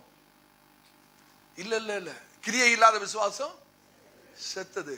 செத்த விசுவாசத்தை அற்புதம் நடக்காது. அற்புதம் நடக்கணும்னா விசுவாசத்தோட என்ன சேர்க்கணும்? கிரியை சேர்க்கணும். அந்த கிரியை எது வேணாலும் இருக்கலாம். கீழ்ப்படிதல் ஒரு கிரியை. ஞானஸ்தானம் ஒரு கிரியை. என்னை தாழ்த்துகிறது ஒரு கிரியை. எதெல்லாம் நீங்க விசுவாசத்தோடு எந்தெந்த கிரியைகளை சேர்க்கிறீர்களோ அதற்கேற்ற பலன் தான் உண்டாகும். வெறும் விசுவாசம் அற்புதத்தை கொண்டு வராது. அந்த விசுவாசத்தோடு கிரியை நான் சேர்க்கும் போது அந்த விசுவாசத்தோடு என் கீழ்ப்படுதலை சேர்க்கும் போது அந்த விசுவாசத்தோடு என்னுடைய ஞானஸ்தானம் என்னும் கிரியை சேர்க்கும் போது அந்த விசுவாசத்தோடு தாழ்மை என்னும் கிரியை சேர்க்கும் போது கத்தர் எனக்காய் கிரியை செய்கிறார். கத்தருடைய பரிசுத்த நாமத்துக்கு மகிமை உண்டாகும். நல்லா யோசிச்சு பாருங்க நீங்க நம்முடைய பிரதமருக்கு ஒரு கடிதம் எழுதுறீங்க. அந்த கடிதத்துல நான் வந்து ஒரு இந்திய பிரதிஜை ஒரு சிட்டிசன் குடிமகன் நான் இந்தியாவை அதிகமாக நேசிக்கிறேன். இன்- இந்தியாவுக்கு நான் உண்மையாக இருப்பேன் என்றெல்லாம் நிறைய காரியத்தை எழுதிட்டு கீழே லெட்டரில் கையெழுத்தே போடலனா அந்த லெட்டருக்கு ஏதாவது மதிப்பு இருக்குமா? இருக்காது. ஒரு லெட்டரை நம்ம அனுப்புறோம்னா முக்கியமானது கீழே கையெழுத்த போடணும். அந்த கையெழுத்து தான் ஞானஸ்தானம். அந்த லெட்டரை உறுதிப்படுத்துகிறது நம்ம கையெழுத்து தான். அப்ப நம்முடைய ரட்சிப்பை உறுதிப்படுத்துகிறது நம்முடைய ஞானஸ்தானம் தான். இப்ப ரட்சிப்பின் இரண்டாவது படிக்கு வந்துட்டோம். முதல் படி என்ன? விசுவாசம். இரண்டாவது படி ஞானஸ்தானம். இப்ப மூணாவது படிக்கு வருவோம். எடுத்து வாசிங்கள். ரோமர் பத்தாம் அதிகாரம் ஒன்பது பத்து வசனங்கள். ரோமர் பத்தாம் அதிகாரம் ஒன்பது பத்து வசனங்கள். என்னவென்றால் என்னவென்றால் கத்ராகி இயேசுவை நீ உன் வாயினாலே அறிக்கையிட்டு கர்த்தராகி இயேசு கிறிஸ்துவை உன் வாயினாலே நல்ல கவனிங்கள். உன் வாயினாலே அறிக்கையிட்டு தேவன் அவரை மருத்தோரிலிருந்து எழுப்பினார் என்று தேவன் அவரை மரித்தோரிலிருந்து எழுப்பினார் என்று உன் இருதயத்திலே விசுவாசித்தால் ரட்சிக்கப்படுவாய் உன் இருதயத்திலே விசுவாசித்தால் ரட்சிக்கப்படுவாய் இப்ப நல்ல கவனிங்கள். ஆ. நீதி உண்டாக இருதயத்திலே விசுவாசிக்கப்படும். நீதி உண்டாக இருதயத்திலே விசுவாசிக்கப்படும். ரட்சிப்பு உண்டாக வாயினாலே அறிக்கை பண்ணப்படும். ரட்சிப்பு உண்டாக வாயினாலே அறிக்கை செய்யப்படும். நல்லா கவனிச்சிங்களா? இருதயத்தில் என்ன பண்ணணும்? நல்லா சொல்லுங்க. விசுவாசிக்கணும். வாயில அறிக்கையிடணும் இருதயத்தில் ஆண்டவராக இயேசுவை நான் விசுவாசிக்க வேண்டும். நாவிலானே நான் அறிக்கையிட வேணும். பிதாவாகிய தேவன் ஆண்டவராக இயேசுவை மரித்தோரிலிருந்து உயிர்த்தெழுந்தார். உயிர்த்தெழுக்க பண்ணினார் என்று சொல்லி என் இருதயத்தில் விசுவாசித்து நான் வாயிலே அறிக்கை செய்ய வேண்டும். ஆண்டவராக இயேசு கிறிஸ்துவை அறிக்கை செய்ய வேண்டும். அப்ப நீங்க ரட்சிக்கப்படுவீர்கள் அந்த பத்தாவது வருஷத்தை மறுபடியும் வாசிங்க. நீதி உண்டாக இருதயத்திலே விசுவாசிக்கப்படும். நீதி உண்டாக இருதயத்திலே விசுவாசிக்கப்படும். நீ ரட்சிப்புண்டாக வாயினாலே அறிக்கை பண்ணப்படும். அப்ப ரட்சிப்பு எதனால உண்டாகிறது? அறிக்கை. வாயினால் அறிக்கை. எதை அறிக்கையிட வேணும்? எதை அறிக்கையிட வேணும்? ஒன்பதாம் வசனத்துல வாசித்தமே. என்னவென்றால் என்ன அறிக்கை அது? கத்ராகி இயேசுவை கர்த்தராகிய இயேசுவை நீ உன் வாயினாலே அறிக்கையிட்டு போதும். கர்த்தராகிய இயேசுவை உன் வாயினாலே அறிக்கையிட வேணும். அப்பதான் ரட்சிப்பு. இருதயத்துல விசுவாசித்தால் மாத்திரம் போதாது. இன்னொரு கிரியை சேர்க்கப்படுகிறது. என்னது அது? அறிக்கை. வாயினால் அறிக்கை. ஆண்டவராக இயேசுவை வாயினாலே அறிக்கை பண்ண வேணும். நான் உங்களுக்கு ஒன்று சொல்லட்டா? நல்ல கவனிங்க. நம்முடைய வாயிலே ஆண்டவராக இயேசு கிறிஸ்துவை அறிக்கை செய்ய வேணுமானால் நமக்கு யார் வேணும்? யார் வேணும்?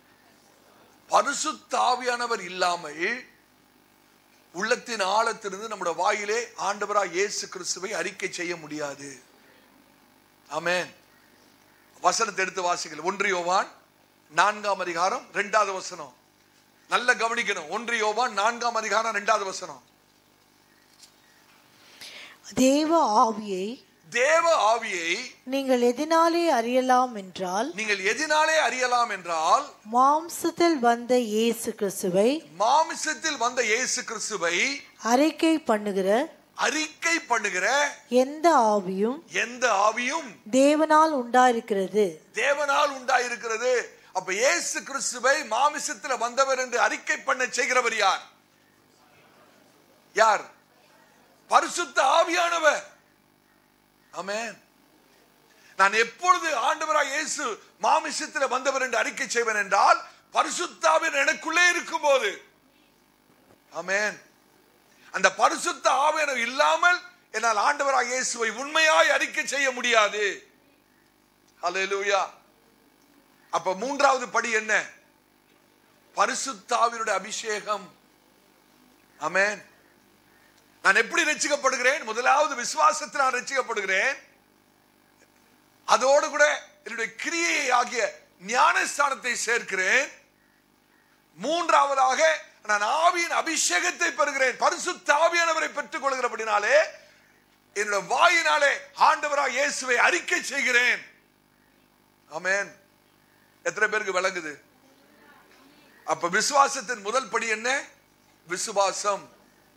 இரண்டாவது படி ஆண்டவராக இயேசு கிறிஸ்துவை விசுவாசிக்கிற விசுவாசம். இரண்டாவது ஆண்டவராக இயேசு கிறிஸ்துடைய வார்த்தைக்கு கீழ்ப்படிந்து என்னுடைய கீழ்ப்படிதலை கிரியையை விசுவாசத்தோடு சேர்க்கிறேன். நான் ஞானஸ்தானம் எடுக்கிறேன். மூன்றாவதாக ஆண்டவராக இயேசுவை மாமிசத்தில் வந்தவர் என்று சொல்லி பரிசுத்த ஆவியானவராலே நான் அறிக்கை செய்கிறேன். அப்ப மூன்றாவது அனுபவம் என்ன? ஆவியின் அபிஷேகத்தை பெறுகிறது. இப்ப எத்தனை பேர் முதல் படியிலே இருக்கிறோம்? நான் விசுவாசித்து இருக்கிறேன் அவ்வளவுதான். நீங்க ரெண்டாவது படியாக ஞானஸ்தானத்துக்குள்ள வரணும். நீங்க ரெண்டாவது படி ஞானஸ்தானம் எடுத்து இருந்து இன்னும் ஆவியின் அபிஷேகத்தை பெறாமல் இருந்தால் நீங்கள் தயவு செய்து ஆண்டு கேட்டு ஆண்டவரே என்னை ஆவியின் அபிஷேகத்தாலே நிரப்பும் என்று சொல்லி ஆவியின் அபிஷேக பரிசுத்தாவினை கண்டிப்பாய் பெற்றுக்கொள்ள வேணும். அருமையான சபையார கத்திர ஊழியக்கார் நான் சொல்கிறேன் நீங்கள் அந்த பரிசுத்த ஆவியானவரை பெறாமல் உங்களுடைய ரட்சிப்பு ஒரு நாள் நிறைவேற முடியாது. ஆமென். யாராவது தூங்கிட்டு இருக்கிறீங்களா? பக்கத்தில் யாராவது அப்படி தூங்கிட்டு இருந்தா ஒரு அப்படி கொஞ்சம் ஒரு குலுக்கு கொடுங்க. பிசாசுக்கு இந்த செய்தி பிடிக்காது சத்தியம் பிடிக்காது. நீங்க தான் உதவி செய்யணும் ஆண்டவருக்கு. எப்படி உதவி செய்யணும்? பிடிச்சி ஒரு உழுக்கு உழுக்குங்க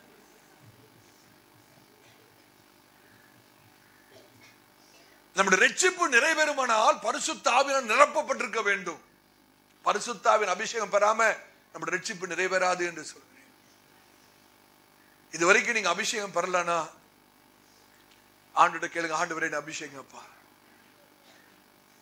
எதை செய்தாலும் அபிஷேகத்தை பெற்றுக்கணும் நம்மளோட பாத்திரம் அபிஷேகத்தை பெறறதுக்கு முதலாவது காலியா இருக்கணும். ரெண்டாவது சுத்தமா இருக்கணும். மூன்றாவது பாத்திரம் பரலோகத்தை நோக்கி இருக்கணும். சில பாத்திரம் காலியா இருக்கும் ஆனா கவுத்து வைக்கப்பட்டிருக்கும் பாத்திரம் காலியா தான் இருக்கு ஆனா எப்படி இருக்கு? கவுத்து வச்சுதான் நிரப்ப முடியுமா? வானத்துக்கு நேரா இருக்கணும். தாகம் இருக்கணும். ஆண்டவரே என்ன நிரப்பும். நான் தாழ்மையாக சொல்லுகிறேன். கத்தரனை ஏழு வயதில் அபிஷேகித்தார். அந்த ஆவின் அபிஷேகம் என்னன்னே எனக்கு தெரியாது. ஆனால் சண்டே ஸ்கூல் டீச்சர் சொன்னது எனக்கு ஞாபகம் இருந்தது நீ அபிஷேகத்தை பெறணும். எனக்கு ஒரு பெரிய வாஞ்சி ஏற்படுது. ஆண்டவர் எப்படியாவது அபிஷேகத்தை பெறணும். என்னுடைய ஒரே ஒரு ஜெபம்.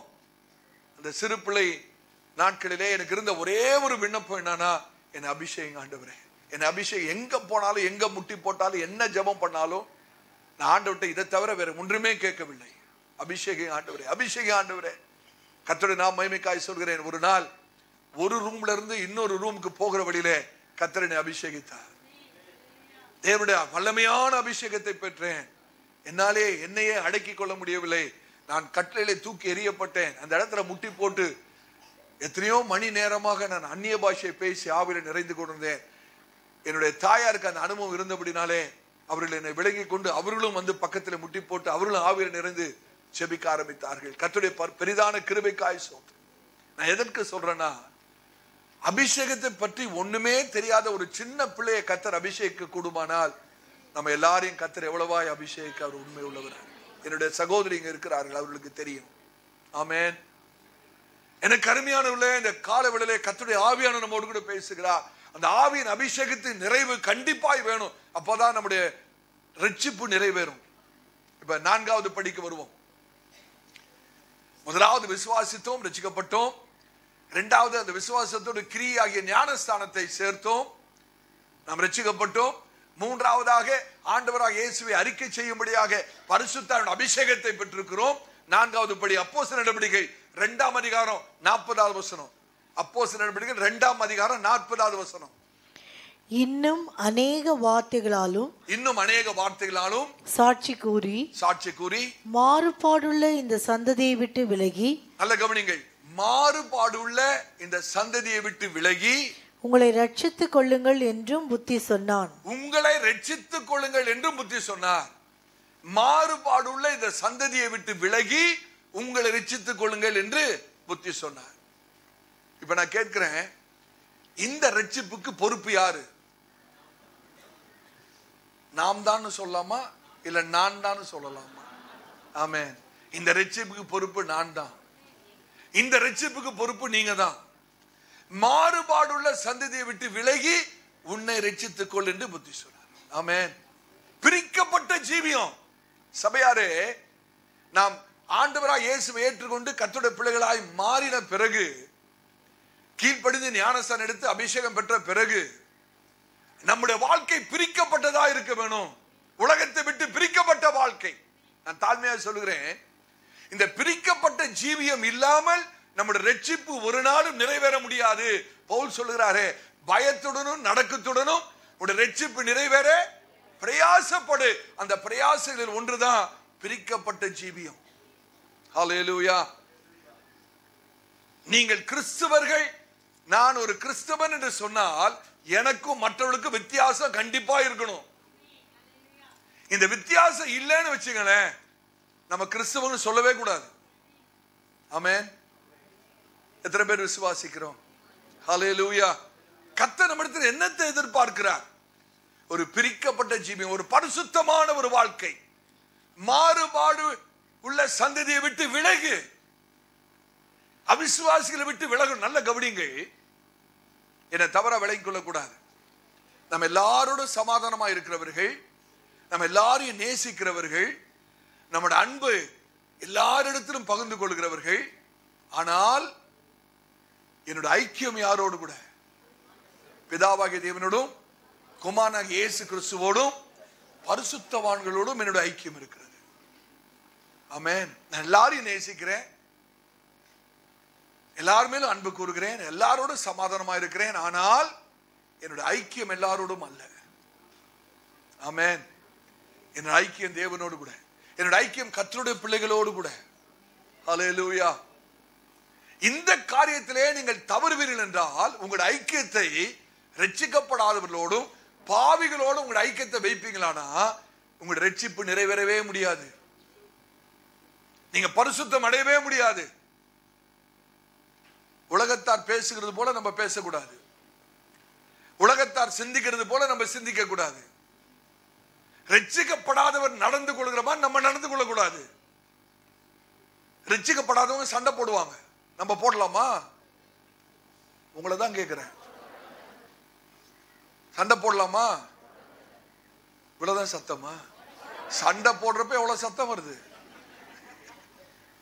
கத்துடைய பிள்ளைகள் சண்டை போடலாமா? கூடாது. ஆமே இன்னைக்கு எவ்வளவு துக்கமான காரியம் தெரியுமா?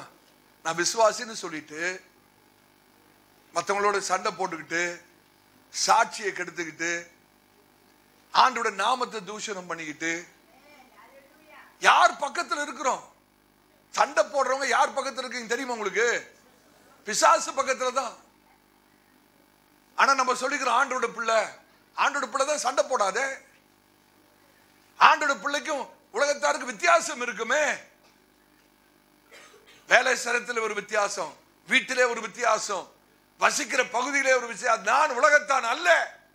ஆண்டு தெளிவா சொன்னாரே நீங்கள் உலகத்தில் இருக்கிறீர்கள் ஆனால் நீங்கள் உலகத்தார் அல்ல உலகத்துக்குரியவர்கள் அல்ல. ஆமேன். ஆண்டு இயேசு எவ்வளவு அழகா சொல் உலகத்தின் அதிபதி இடத்துல வருகிறான் ஆனால் அவனிட என்னிடத்திலோ அவனுக்கு ஒன்றுமே இல்லை. உலகத்துக்குரிய காரியங்கள் இடத்துல ஒன்றுமே இல்லை. நான் உலகத்திலிருந்து வேறு பிரிக்கப்பட்டவர் லூயா இங்கிலீஷ்ல ரெண்டு வார்த்தைகள் இருக்கிறது ஒன்னு வந்து ஐசோலேஷன் இன்னொன்னு வந்து இன்சுலேஷன் இது ரெண்டு வார்த்தைக்கு வித்தியாசம் உங்களுக்கு தெரியும் நினைக்கிறேன். ஐசோலேஷன் கம்ப்ளீட்டா பிரிச்சிடுறது. ஆண்டவர் வந்து அப்படியே கம்ப்ளீட்டா உங்களை பிரிச்சிருங்கன்னு சொல்லல. அப்படி பிரிச்சா நம்ம வேலை செய்ய முடியுமா? நம்மளையே பிரிச்சுக்கிட்டா அவிசுவாசிகளோட தானே இன்னைக்கு வேலை செய்துட்டு இருக்கிறோம். கத்தர் அவர்கள் மத்தியில தான் வச்சிருக்கிறார் நம்ம நம்மள. அவிசுவாசிகளோடும் பாவிகள் மத்தியில தான் கத்தர் நம்மளை வச்சிருக்கிறார். அப்ப அவர்களை விட்டு நம்ம பிரிஞ்சிடணும்னா அவங்களோட வேலையை செய்யவே முடியாதே. ஆண்டவர் அதை அர்த்தப்படுத்தல. அவர்கள் மத்தியில இருந்தாலும் உங்களை ஐசோலேட் பண்ணாதீங்க ஆனா இன்சுலேட் பண்ணி கொள்ளுங்கள். இன்சுலேட்னா என்ன தெரியுமா? ஒரு வயர் இருக்கிறது. வயர்ல அந்த கரண்ட் கம்பி இருக்கிறது. ஆனா கம்பிக்கு மேல ஒரு பிளாஸ்டிக் கோட்டிங் இருக்கு. பார்த்துருக்கீங்களா? கம்பிக்கு மேல ஒரு ரப்பர் கோட்டிங் இல்லைன்னா பிளாஸ்டிக் கோட்டிங் பாதுகாப்பு. என்னன்னா உள்ள இருக்கிற கரண்ட் வெளியே வராது. வெளியே இருக்கிறது உள்ள போகாது. அதுதான் இன்சுலேஷன் இன்சுலேஷன் டேப்னு போடுறோம். பாஸ்கருக்கு தெரியும் ரெண்டு வயரை கனெக்ட் பண்ணி அப்படியே விட்டுட்டா என்ன ஆகும் அந்த இடத்துல? ஷாக் அடிக்கும். அதனால இன்சுலே இன்சுலேட் பண்ணணும். அந்த அந்த அத அத கரண்ட் அடிக்காதபடிக்கு ஆண்டு என்ன திரும்ப சொல்றாரு? உங்களை பிரிந்து அவர் அவரோட சேராதீங்கன்னு சொல்லல. அவர்கள் மத்தியில் தான் இருக்கிறோம். ஆனா அவர்களுடைய காரியம் உங்களை வாழ்க்கைக்குள்ளே வரக்கூடாது. ஆமே கொஞ்சம் கற்பனை பண்ணி பாருங்க. ஆண்டவர் நோவாவை அந்த பேழையை செய்ய சொல்லும் போது ஆண்டவர் ஒரு குறிப்பிட்ட ஒரு காரியத்தை சொல்கிறார்.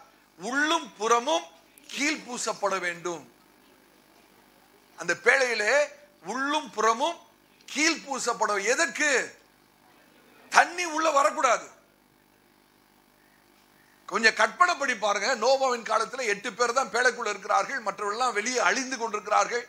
மாண்டு எல்லாம் செத்த புணம் தான். நோவாவோட பேழையை சுற்றிலும் செத்த புணங்கள் இருக்கிறது. அந்த தண்ணி எப்படி இருக்குன்னு யோசிச்சு பாருங்க. பயங்கரமான நாற்றம் அடிக்கிற ஒரு தண்ணீராக தான் இருக்கணும். ஆகவேதான் ஆண்டவர் ஞானத்தோடு சொல்றாரு அப்பா உள்ளும் புறமும் கீழே கீழ் பூசு. அந்த நாற்றமான தண்ணீர் உள்ள வரவே கூடாது. உள்ள வந்தா உள்ள வியாதி வந்துடும் இன்னும் தண்ணி மீறி உள்ள வந்தா மூழ்கிறோம் இன்னைக்கு அநேக கத்துடைய பிள்ளைகளோட வாழ்க்கையிலே ஆவிக்குரிய வியாதி இருக்கிறது. காரணம் என்ன தெரியுமா? உலகம் உள்ள வருது. கீழ்பூசப்படலை ஆண்டவரா இயேசு கிறிஸ்துவினாலே ரத்தத்தினாலே கீழ்பூசப்படாமல் இருக்கிறது. சபையாரே நம்முடைய வாழ்க்கை ஆண்டவரா இயேசுவின் ரத்தத்தாலே கீழ்ப்பூசப்பட்டிருக்க வேணும் உலகத்துல தான் இருக்கிறோம் ஆனா உலகம் ஒரு நாள் உள்ளே வரக்கூடாது. உலகத்தின் காரியங்கள் வரக்கூடாது உலகத்தின் வேஷங்கள் வரக்கூடாது உலகத்தின் சிற்றினமும் நமக்கு வாழ்க்கைக்குள்ள வரக்கூடாது. சகோதரர்களுக்கு நல்லா தெரியும். ஆ கடல்ல மீன் இருக்கிறது. நம்ம எல்லாரும் கடல் மீன் சாப்பிடுறோம். ஆனா சமைக்கிறதுக்கு முன்ன கடல்ல அது கடல் தண்ணீர் உப்பு தண்ணீர் தான். பயங்கரமான உப்பு தண்ணீர் தான் அந்த மீனே இருக்குது. ஆனா சமைக்கும் போது உப்- சரி கடல்ல தானே இருக்கு இந்த மீன் உப்புல தானே இவ்வளவு நாள் இருந்தது அப்படின்னு உப்பு போடாம சமைக்கிறீங்களா? மீனை சமைக்கும் போது உப்பு தானே போடுறீங்க? அப்படின்னா என்ன அர்த்தம்? அந்த கடல்ல இருக்கிற உப்பு இந்த மீனுக்குள்ள வருகிறது இல்லை அந்த மீனுக்குள்ள வருகிறது இல்லை கர்த்தர் அப்படிதான் நம்முடைய வை- வை- வைக்க விரும்புகிறார். கர்த்தர் சொல்கிறார் மகனே மாறுபாடு உள்ள சந்ததியை விட்டு விலகி உன்னை ரட்சித்துக் கொள். நீ யாரோடு ஐக்கியம் வைத்திருக்கிறாய் என்பதை கவனித்துப் பார். உன்னுடைய ஐக்கியத்தை பாவிகளோடு வைத்துக் கொள்ளாதே. உன்னுடைய ஐக்கியத்தை துன்மார்க்கோடு வைத்துக் கொள்ளாதே. உன்னுடைய ஐக்கியத்தை கத்துடைய பிள்ளைகளோடு வைத்துக் கொள். நேற்று தினத்திலே அம்பத்தூர் பகுதியிலே ஜீவ வார்த்தை சபையிலே நான் பிரசங்கம் பண்ணி கொண்டிருந்தேன். அந்த பிரசங்கம் பண்ணும்போது கத்தர் ஒரு சிந்தனை எனக்கு கொடுத்தார். சபைக்குள்ளே உலகம் வர ஒரு நாளும் கூடாது. சபைக்குள்ள உலகம் வரவே கூடாது. சபைக்குள்ளே உலகம் நேரடியா வர முடியாது. காரணம் ஊழியக்காரலாக எங்களை கத்தர் காவலாளியாக வைத்திருக்க வாட்ச்மேனா வைத்திருக்கிறார். ஒரு நாளும் உலகம் சபைக்குள்ள வர நாங்க விட மாட்டோம் நல்ல கவனிங்க. ஏனென்றால் கத்தர் எங்களை காவலாளியாக தான் வைத்திருக்கிறார். உலகத்து சபைக்குள்ளே உலகம் நுழைய நாங்க விட மாட்டோம் அதனால பிசாசு ரொம்ப தந்திரமா என்ன பண்றான்னா சபைக்குள்ள உலகம் நேரடியாக வர முடியாது. ஆகவே உலகத்தை விசுவாசிகளுக்குள்ளே வைத்து விடுகிறான் அப்ப விசுவாசிகள் சபைக்குள்ள வரும்போது சபைக்குள்ள என்ன வருது?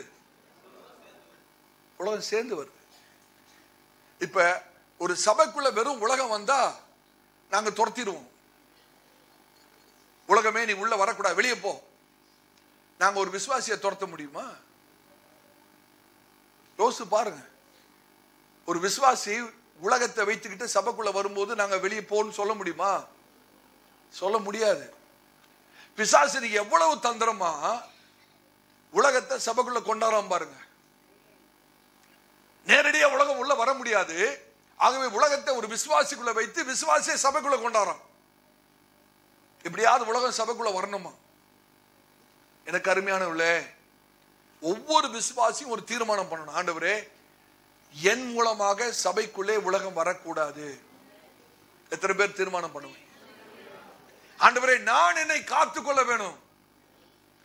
ஐ சுட் பி இன்சுலேட்டட் எனக்குள்ளே உலகம் வர நான் விடமாட்டேன் ஆண்டவரே. உலகத்தின் காரியங்கள் வர விடமாட்டேன் ஆண்டவரே. உலகத்துக்கு டெபினிஷன் உங்களுக்கு தெரியுமா? உலகம் என்ன? அர்த்தம் என்ன? அந்த வசந்த வாசிக்க முடிஞ்சா வாசிங்க. மூன்று காரியங்கள். உலகத்திலும் உலகத்தில் உள்ளவைகளிலும் அன்பு கூறாதிருங்கள். உலகத்திலும் உலகத்துக்குள் உள்ளவைகளிலும் உள்ளவைகளிலும் அன்பு கூறாதிருங்கள். அன்பு கூறாதிருங்கள். ஒருவன் உலகத்தில் அன்பு கூர்ந்தால் ஒருவன் உலகத்தில் அன்பு கூர்ந்தால் அவனிடத்தில் பிதாவின் அன்பில்லை. அவனிடத்திலே பிதாவின் அன்பில்லை. ஏனெனில் ஏனெனில் மாம்சத்தின் இச்சையும் உலகத்துக்கு இதான் டெபினிஷன் உலகத்துக்கு டெபினிஷன்னா விளக்குரை. உலகம் என்றால் என்ன? மாமிசத்தின் இச்சை கண்களின் இச்சையும் கண்களின் இச்சை ஜீவனத்தின் பெருமையுமாகிய ஜீவனத்தின் பெருமையுமாகிய உலகத்தில் உள்ளவைகள் எல்லாம் உலகத்தில் உள்ளவைகள் எல்லாம் பிதாவினால் உண்டானவைகள் அல்ல. பிதாவினால் உண்டானவைகள் அல்ல. அவைகள் உலகத்தினால் உண்டானவைகள். அவைகள் உலகத்தினால் உண்டானவைகள். அப்ப கண்களின் இச்சை சபைக்குள்ள வரலாமா? உங்களை தானே கேக்குறேன். நல்ல தைரியமா சொல்லுங்களேன். கண்களின் இச்சை சபைக்குள்ள ஒரு நாள் வரக்கூடாது. மாமிசத்தின் இச்சை உள்ள வரலாமா? வரக்கூடாது. ஜீவனத்தின் பெருமை உள்ள வரலாமா? வரக்கூடாது. சபைக்குள்ள வரக்கூடாது என்றால் அது முதலாவது உங்களுக்குள்ள வரக்கூடாது. உங்களை காத்துக்கொள்ள வேணும். நீங்க வெளியே போகும் வரும்போதும் இந்த மூன்று காரியங்களுக்கு உங்களை காத்துக் கொள்வீர்கள் என்றால் சபை பரிசுத்தமா இருக்கும். அந்த இடத்துல தேவனுடைய பிரசனம் மகிமை விளங்கும். பிசாசுடைய தந்திரங்களை அறியாதவர்கள் அல்லவே இன்னைக்கு பிசாசு சபைக்குள்ள எவ்வளவு தந்திரமா உலகத்தை கொண்டு வரான் தெரியுமா? ஒரு விசுவாசிக்குள்ள வைத்து விசுவாசியை சபைக்குள்ள கொண்டு வந்து சபைக்குள்ளேயே உலகத்தை கொண்டு வந்து விடுகிறான் அப்போ ஒவ்வொரு விசுவாசியும் தீர்மானம் பண்ண ஆண்டவரே எனக்குள்ளே உலகம் காணப்படவே கூடாது. நான் சபைக்குள்ளே உலகத்தை கொண்டு வரக்கூடாது ஆண்டவரே. அதுக்கு நான் ஆளாகி விடக்கூடாது. நான் பரிசுத்தமாய் ஜீவிக்க வேணும். என ஒவ்வொரு விசுவாசியும் தீர்மானம் பண்ணுவேன் என்றால் நம்முடைய சபை எவ்வளவு மகிமையா இருக்கும் என்று யோசித்து பாருங்கள். கத்துடைய பரிசுத்த நாமத்துக்கு மகிமை உண்டாகும் அலையலூயா அப்போ ஒரு கிறிஸ்தவன் ஒரு கத்துடைய பிள்ளை என்று சொல்லும்போது முற்றிலும் வித்தியாசப்பட்டவர்கள். உலகத்தாரை போல அல்ல நாம் முற்றிலும் வித்தியாசப்பட்டவர்கள். ஆமேன் எல்லா தரத்திலையும் பேச்சிலையும் வார்த்தையிலையும் உடையிலையும் நடையிலையும் நம்ம குடுக்கல் வாங்குற விஷயத்திலும் வித்தியாசமானவர்கள். நம்ம யாருக்குமே கடன் கொடுக்கறது கிடையாது. தயவுசெய்து விசுவாசிகள் ஒருவருக்கு ஒரு பணத்தை கடன் கொடுக்கவே கொடுக்காதீங்க. உங்களோட ஐக்கியம் கெட்டு போயிடும் நீங்க பணத்தை கடன் கொடுத்து கடன் வாங்குறதுனால தான் ஐக்கியம் கெட்டு போகுது. அது சபையை பாதிக்குது ரொம்ப சபையை பாதிக்குது. விசுவாசிகள் பண்ற பெரிய தவறு. நான் இவருக்கு காசு கொடுத்தேன் அவருக்கு காசு கொடுத்தேன். இவரு காசு வாங்கினார் அவரு காசு வாங்கினார்னு சபைக்குள்ள இந்த கொடுக்கல் வாங்க பிசினஸ் சபைக்குள்ள இருக்கவே கூடாது. சபை கட்டுறோம் உங்களோட ஐக்கியம் கட்டுறோம். நீங்க திருவிருந்துல சுத்த மனசாட்சியோட திருவிருந்து பங்கு பெற முடியாது. எத்தனை பேர் ஒத்து கொடுங்கன்னு தெரியாது. சிலர் வசனத்தை இதையும் வசனம் சொல்லுவாங்க. பாஸ்டர் வசனம் இப்படி சொல்லுத. நீங்கள் கடன் வாங்க மாட்டீர்கள் கடன் கொடுப்பீர்கள்னு. அதுக்கும் வசனம். அதோட அர்த்தத்தை நாம் விலகி கொள்ளாமல் இருக்கிறோம். கடன் வாங்க கடன் வாங்க மாட்டீர்கள் கடன் கொடுப்பீர்கள் என்ன அர்த்தம்னு கேட்டீங்கன்னா வாங்கின கடனை கொடுப்பீங்கன்னு அர்த்தம். நான் சொல்றது விளங்கிக்கிங்க. கடன் வாங்க மாட்டீர்கள் கடன் கொடுப்பீர்கள் என்றால் ஆண்டவரே இனிமேல் நான் கடனே வாங்க மாட்டேன் வாங்கின கடனத்தெல்லாம் கொடுத்துருவேன். கத்தர் வாங்கின கடனை கொடுக்க உதவி செய்வார். கடன் வாங்க மாட்டேன் என்று தீர்மானம் பண்ணீங்கன்னா வாங்கின கடனை கத்தர் கொடுக்க உதவி செய்வார். அதுதான் அந்த வசனத்தோட அர்த்தம். ஏன் நாம் கடன் கொடுக்கறது இல்லை என்றால் நாம் ஒரு நபருக்கு கடன் கொடுக்கும் போது அந்த நபரை அடிமை ஆக்குகிறோம் கடனாளி ஆக்குகிறோம் நம்முடைய சகோதரனை கடனாளியை நம்ம ஆக்கலாமா? ஆக்கக்கூடாது. சகோதரியை கடனாளி ஆக்கலாமா? ஆக்கக்கூடாது. அப்படி உங்களுக்கு இறக்க சுவாபம் உதவி பண்ணணும்னா ஃப்ரீயா கொடுங்க.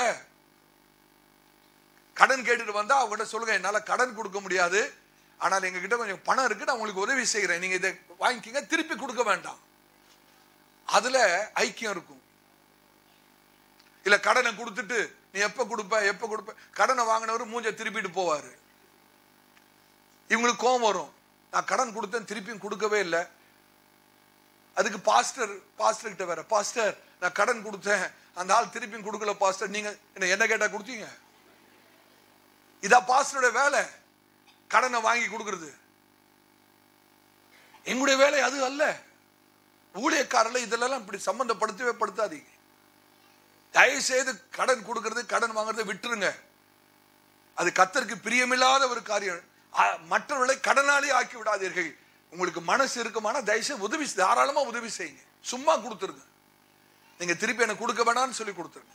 அப்படி உங்ககிட்ட இல்லையா? பிரதர் தயவுசெய்து மன்னிங்க என் இடத்துல இல்லை. நான் உங்களுக்காக ஜெபிக்கிறேன்னு சொல்லுங்க.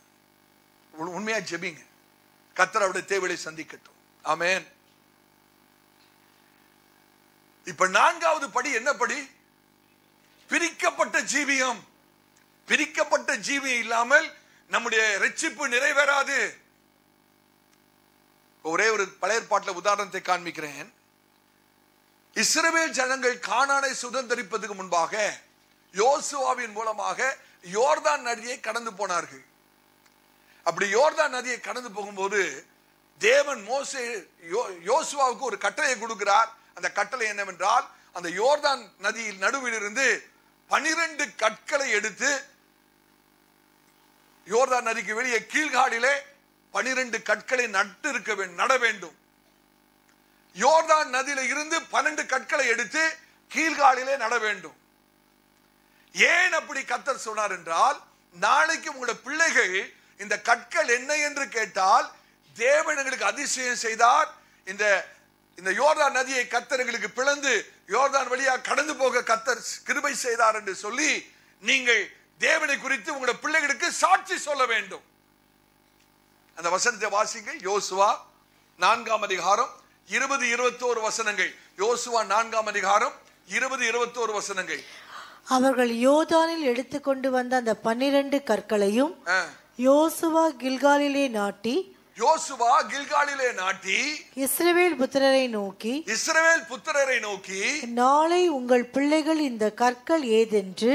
நாளைக்கு உங்களுடைய பிள்ளைகள் இந்த கற்கள் ஏது என்று தங்கள் பிதாக்களை கேட்கும்போது தங்கள் பிதாக்களை கேட்கும்போது நீங்கள் உங்கள் பிள்ளைகளுக்கு அறிவிக்க வேண்டியது என்னவென்றால் நீங்கள் உங்கள் பிள்ளைகளுக்கு அறிவிக்க வேண்டியது என்னவென்றால் இஸ்ரவேலர் வெட்டாந்திரை வழியாய் இந்த யோர்தானை கடந்து வந்தார்கள் பூமியின் சகல ஜனங்களும். கத்தருடைய கரம் பலத்ததென்று அறியும்படிக்கும். நீங்கள் சகல நாளும் உங்கள் தேவனாகிய கத்தருக்கு பயப்படும்படிக்கும். உங்கள் தேவனாகிய கத்தர் சிவந்த சமுத்திரத்தின் தண்ணீரை நாங்கள் கடந்து தீரும் மட்டும் எங்களுக்கு முன்பாக வற்றி போக பண்ணினது போல உங்கள் தேவனாகிய கத்தர் யோர்தானின் தண்ணீருக்கும் செய்து யோர்தானுடைய தண்ணீருக்கும் செய்து அதை உங்களுக்கு முன்பாக. நீங்கள் கடந்து தீரும் அளவும் வற்றி போக பண்ணினார் என்று அறிவிக்க கடவீர்கள் என்றான். கர்த்தருடைய பரிசுத்த நாமது ஆண்டுடைய நோக்கம் பார்த்தீங்களா? கர்த்தர் நம்முடைய வாழ்க்கையில செய்கிற ஒவ்வொரு காரியத்தையும் நம்முடைய பிள்ளைகளுக்கு அறிவிக்கணும். இன்னைக்கு அநேக பெற்றோர்கள் செய்கிற பெரிய தவறு. எத்தனையோ நன்மைகளை கத்திடத்திலிருந்து நாம் அனுபவித்திருக்கிறோம். ஆனா பிள்ளைகளுக்கு ஒண்ணுமே தெரியாது. அருமையான தகப்பன்மாரே தாய்மார்களே கத்தர் உங்களுடைய வாழ்க்கையில செய்த அற்புதங்களை நீங்கள் பிள்ளைகளுக்கு அறிவித்திருக்கிறீர்களா? உங்களோட பிள்ளைக்கு சொல்லியிருப்பீங்களானா உங்களோட பிள்ளை அதே விசுவாசத்துல கத்தருக்கு பயப்படுற பயத்திலே வளரும். ஒருவேளை நீங்கள் சொல்ல தவறியிருப்பீர்கள் என்றால் அட்லீஸ்ட் இன்னையில அந்த ஆவது கத்தர் உங்களுடைய வாழ்க்கையில செய்கிற ஒவ்வொரு நன்மையும் உங்களோட பிள்ளைகளிடத்துல சொல்லுங்கள். உங்களுடைய பிள்ளைகளுக்கு அது கண்டிப்பா தெரியணும். அப்பதான் நம்முடைய சந்ததி கத்தருக்குள்ளே வளரும்.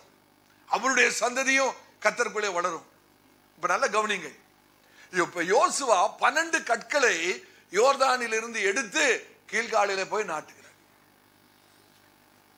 கவனிக்கிறீங்களா? கவனிக்கிறீங்களா?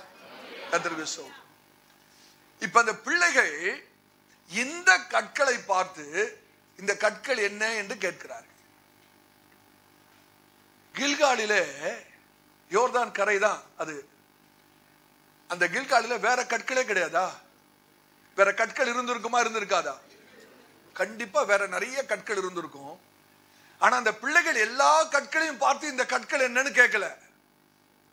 இந்த பிள்ளைகள் குறிப்பாக இந்த கற்கள் என்னன்னு கேட்கிறான் உங்களுக்கு விளங்குதா? யோர்தான் நதி கரையிலே அந்த கில்காலிலே நிறைய கற்கள் இருந்திருக்கும். ஆனா பிள்ளைகள் எல்லா கற்களையும் பார்த்து கேட்கல. குறிப்பா இந்த கற்களை பார்த்து கேட்கிறார்கள். அப்படின்னா என்ன அர்த்தம்? மற்ற எல்லா கற்களுக்கும் இந்த கற்களுக்கும் வித்தியாசம் இருக்கிறது. வித்தியாசம். இந்த கற்கள் என்ன? யோர்தான் நதியிலிருந்து யோர்தான் கரை புரண்டு ஓடுகிறது. அந்த தண்ணீரினாலே அடிக்கப்பட்டு அடிக்கப்பட்டு அடிக்கப்பட்டு இந்த கற்கள் எப்படி இருக்கும்னு கேட்டீங்கன்னா கூழாங்கற்களை போல ஆயிரும். அந்த கரடு முரடான பகுதியெல்லாம் போய் இந்த யோர்தான் நதியிலிருந்து எடுக்கப்பட்ட கற்கள் வித்தியாசமா இருக்கும். வளவள என்று சொல்லி கூழாங்கல்லை போல இருக்கும். அப்ப அந்த பிள்ளைகள் கீழ்காலிலே யோசுவா வந்து நட்ட போது அந்த பிள்ளைகள் மற்ற எல்லா கற்களையும் பார்க்கறாங்க ஆனா இந்த கற்கள் வித்தியாசமா இருக்கு. அப்ப பிள்ளைகளுக்குள்ளே ஒரு கேள்வி வருகிறது இந்த மற்ற கல்லாம் ஒரே மாதிரி இருக்கு ஆனா இந்த பன்னெண்டு கல் மாத்திரம் கற்கள் மாத்திரம் வித்தியாசமா இருக்குதே அப்படின்னு சொல்லி அப்பா கிட்ட கேட்கிறான் அப்பா இந்த கற்கள் என்ன? அப்ப தகப்பன் சாட்சி சொல்லணும். கத்தர் எப்படி எங்களுடைய யோர்தான் நதியை கடக்க பண்ணினார் என்று சொல்லி. நான் எதை சொல்ல வருகிறேன் என்றால் நம்மளாம் யாரு தெரியுமா? யோர்தான் நதியிலிருந்து எடுக்கப்பட்டவர்கள். ஆமென். யோர்தான்னா என்னன்னு தெரியுமா உங்களுக்கு? மரணம். நம்ம எல்லாம் ஞானஸ்தானத்திலே கிறிஸ்துவோடு கூட அடக்கம் பண்ணப்பட்டவர்கள். பழைய மனுஷனுக்கு மறித்து அடக்கம் பண்ணப்பட்டு புதிதும் ஜீவனுமான ஒரு வாழ்க்கைக்காக நாம் தண்ணீரை விட்டு வெளியே வந்தவர்கள் ஞானஸ்தானத்தில் தேவனோடு உடன்படிக்கை பண்ணப்பட்டவர்கள் நம்ம எல்லாரும் ஆவிக்குரிய ரீதியிலே யோர்தானை விட்டு வெளியே வந்தவர்கள் தான். அப்படிதானே அப்ப நமக்கும் மற்றவர்களுக்கு வித்தியாசம் இருக்கணுமா இருக்கக்கூடாதா? கண்டிப்பா இருக்கணும். நம்மளோட பிள்ளைகள் நம்மளை பார்த்து கேட்கணும். அம்மா அப்பா பக்கத்து வீட்டுல எல்லாம் குடும்பமா போகிறாங்களே போறாங்களே. நீங்க ஏன் போகிறதில்ல நம்ம ஏன் போகிறதில்ல அப்படின்னு பிள்ளைங்க கேட்கணும். அதுக்கு நம்ம சொல்லணும் அப்பா நம்மெல்லாம் யோர்தானிலிருந்து எடுக்கப்பட்டவர்கள். நம்மெல்லாம் ரட்சிக்கப்பட்டவர்கள். நம்மெல்லாம் ஞானஸ்தானம் எடுத்தவர்கள். நம்மெல்லாம் கத்துடைய பிள்ளைகள். அவர்களுக்கும் நமக்கும் வித்தியாசம் இருக்குப்பா. அவங்க போகலாம் ஆனா நம்ம போக கூடாது நம்ம கத்துடைய பிள்ளைகள். ஆமே பிள்ளைகள் நம்ம பார்த்து கேட்கணும். அப்பா பக்கத்து வீட்டுல எல்லாம் அந்த என்னென்னமோ சொல்றாங்களே. ஆனந்த விகடன் கல்கி குமுதம்லாம் வாங்குறாங்களே.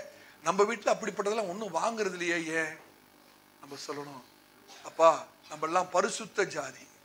நம்ம கத்தரால் அழைக்கப்பட்டு வேறு பிரிக்கப்பட்டவர்கள் மற்றவர்களைப் போல அல்ல நாம் வித்தியாசமா இருக்கப்பட்டு அழைக்கப்பட்டவர்கள். ஆமே நம்மளோட பிள்ளைகள் பார்த்து நம்மளை கேட்கணும். ஞாயிற்றுக்கிழமை எல்லாம் வீட்டில் உட்காந்து ஒரே சந்தோஷமா சமைச்சு சாப்பிட்டுட்டு இருக்காங்களே நம்ம மாத்திரம் எதுக்கு? வாரந்தோறும் ஆலயத்துக்கு போறோம் அப்படின்னு நம்மளோட பிள்ளைகளை பார்த்து நம்ம பிள்ளைகள் நம்ம பார்த்து கேட்டா சொல்லணும்.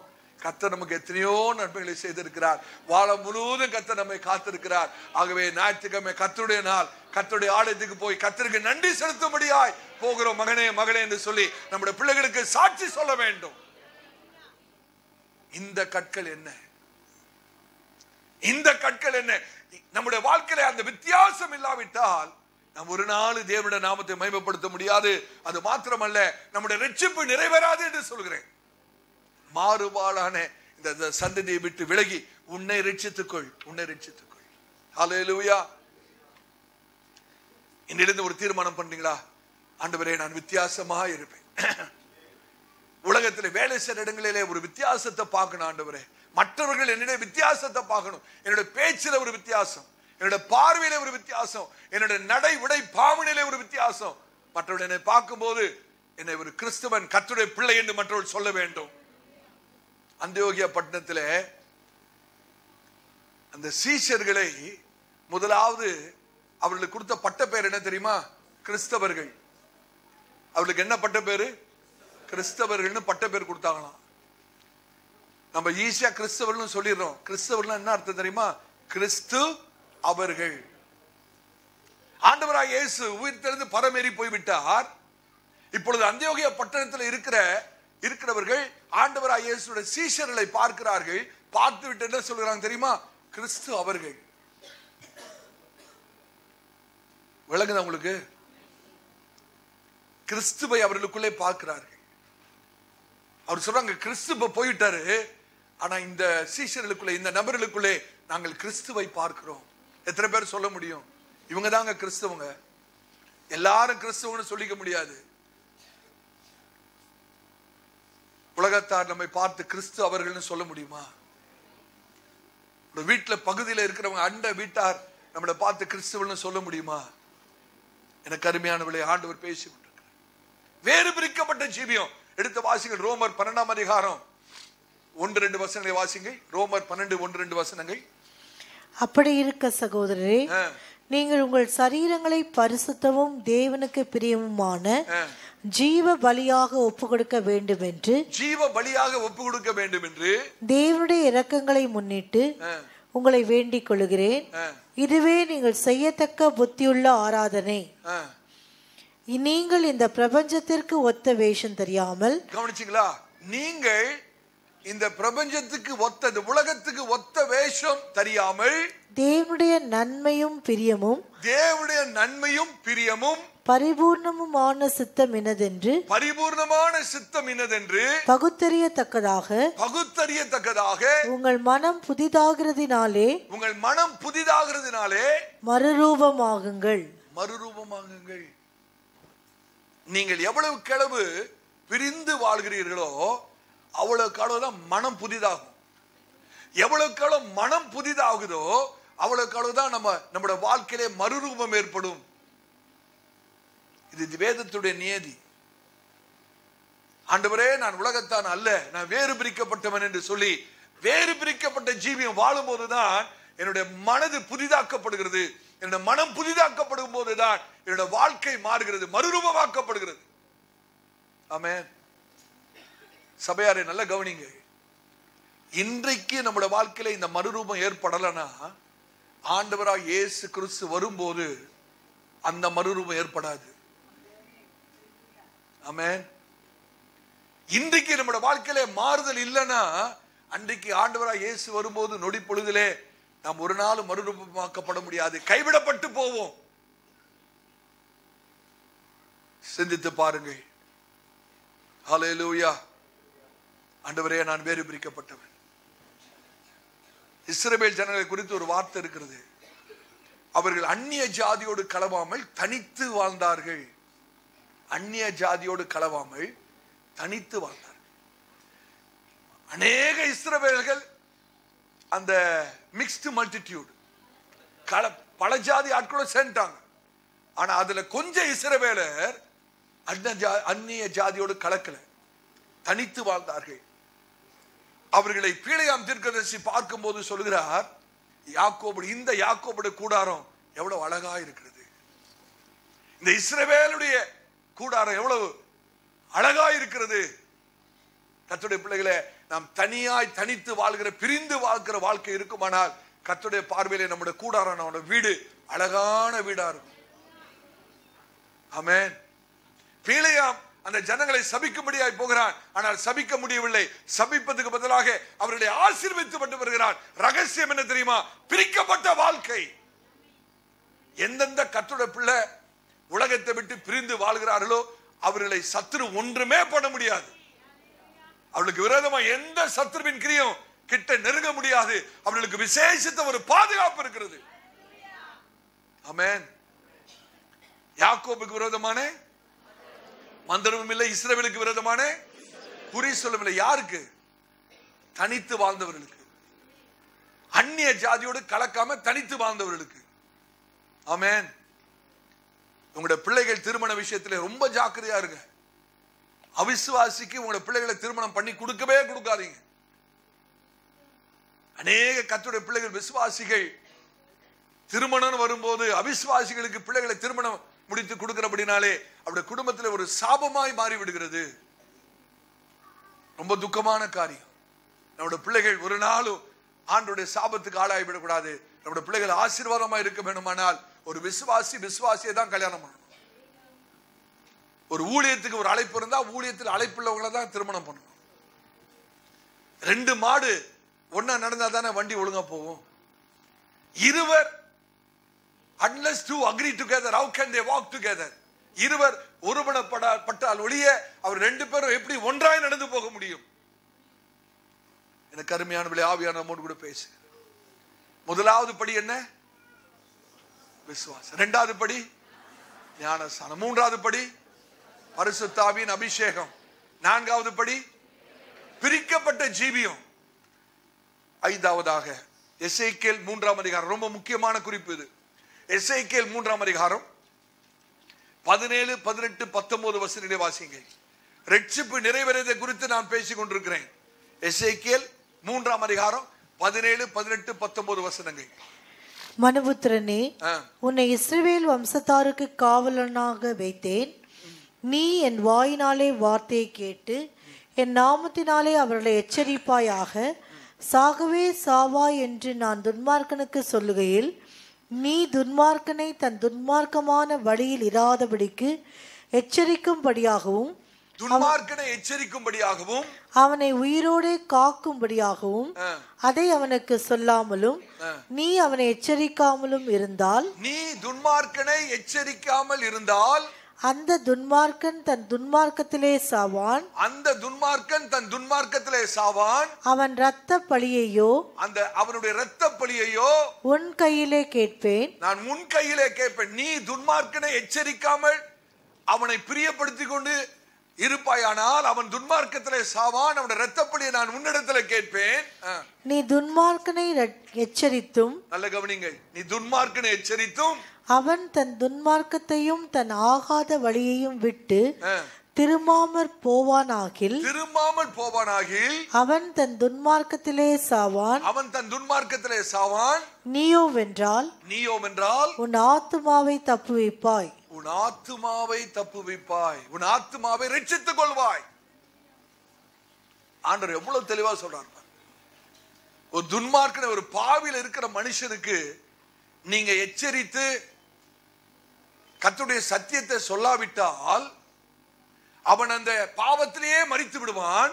ஆனால் அவனுடைய ரத்தப்பள்ளி யார் மேல இருக்கும்? நம்ம மேல இருக்கும். ஆனா ஒரு பாவியான மனுஷனுக்கு நீங்க ஆண்டவராக இயேசுவை பற்றி சொல்லி அந்த ரட்சிப்பின் வழியை காண்பிக்கும் போது அவன் நான் ஏற்றுக்கொள்ள மாட்டேன் என்று சொல்லி ரட்சிப்பின் சுவிசேஷத்தை வேண்டாம் என்று தள்ளி அவன் தன் பாவத்திலே மறிப்பானானால் தன் பாவத்தில் அவன் மறிப்பான் ஆனால் அவனுடைய இரத்தப்பழியை நம்மிடத்திலே ஆண்டவர் கேட்க மாட்டார்.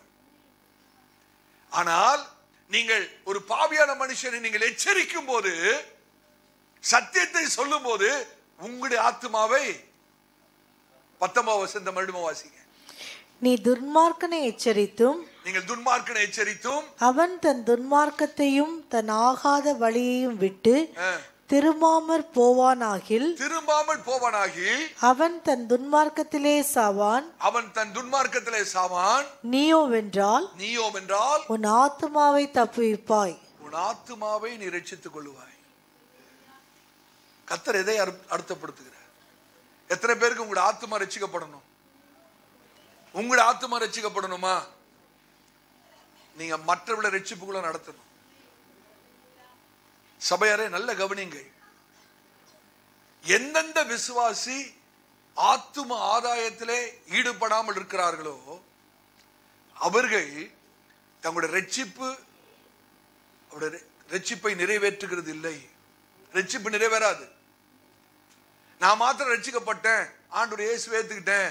நான் ஒவ்வொரு வாரமும் கோயிலுக்கு போயிட்டு சபைக்கு போயிட்டு வரேன். இதுவே போதும்னு இருந்துட்டீங்கன்னா உங்களோட ரட்சிப்பு நிறைவேறாது. உங்களோட ரட்சிப்பு பூரணமடையாது.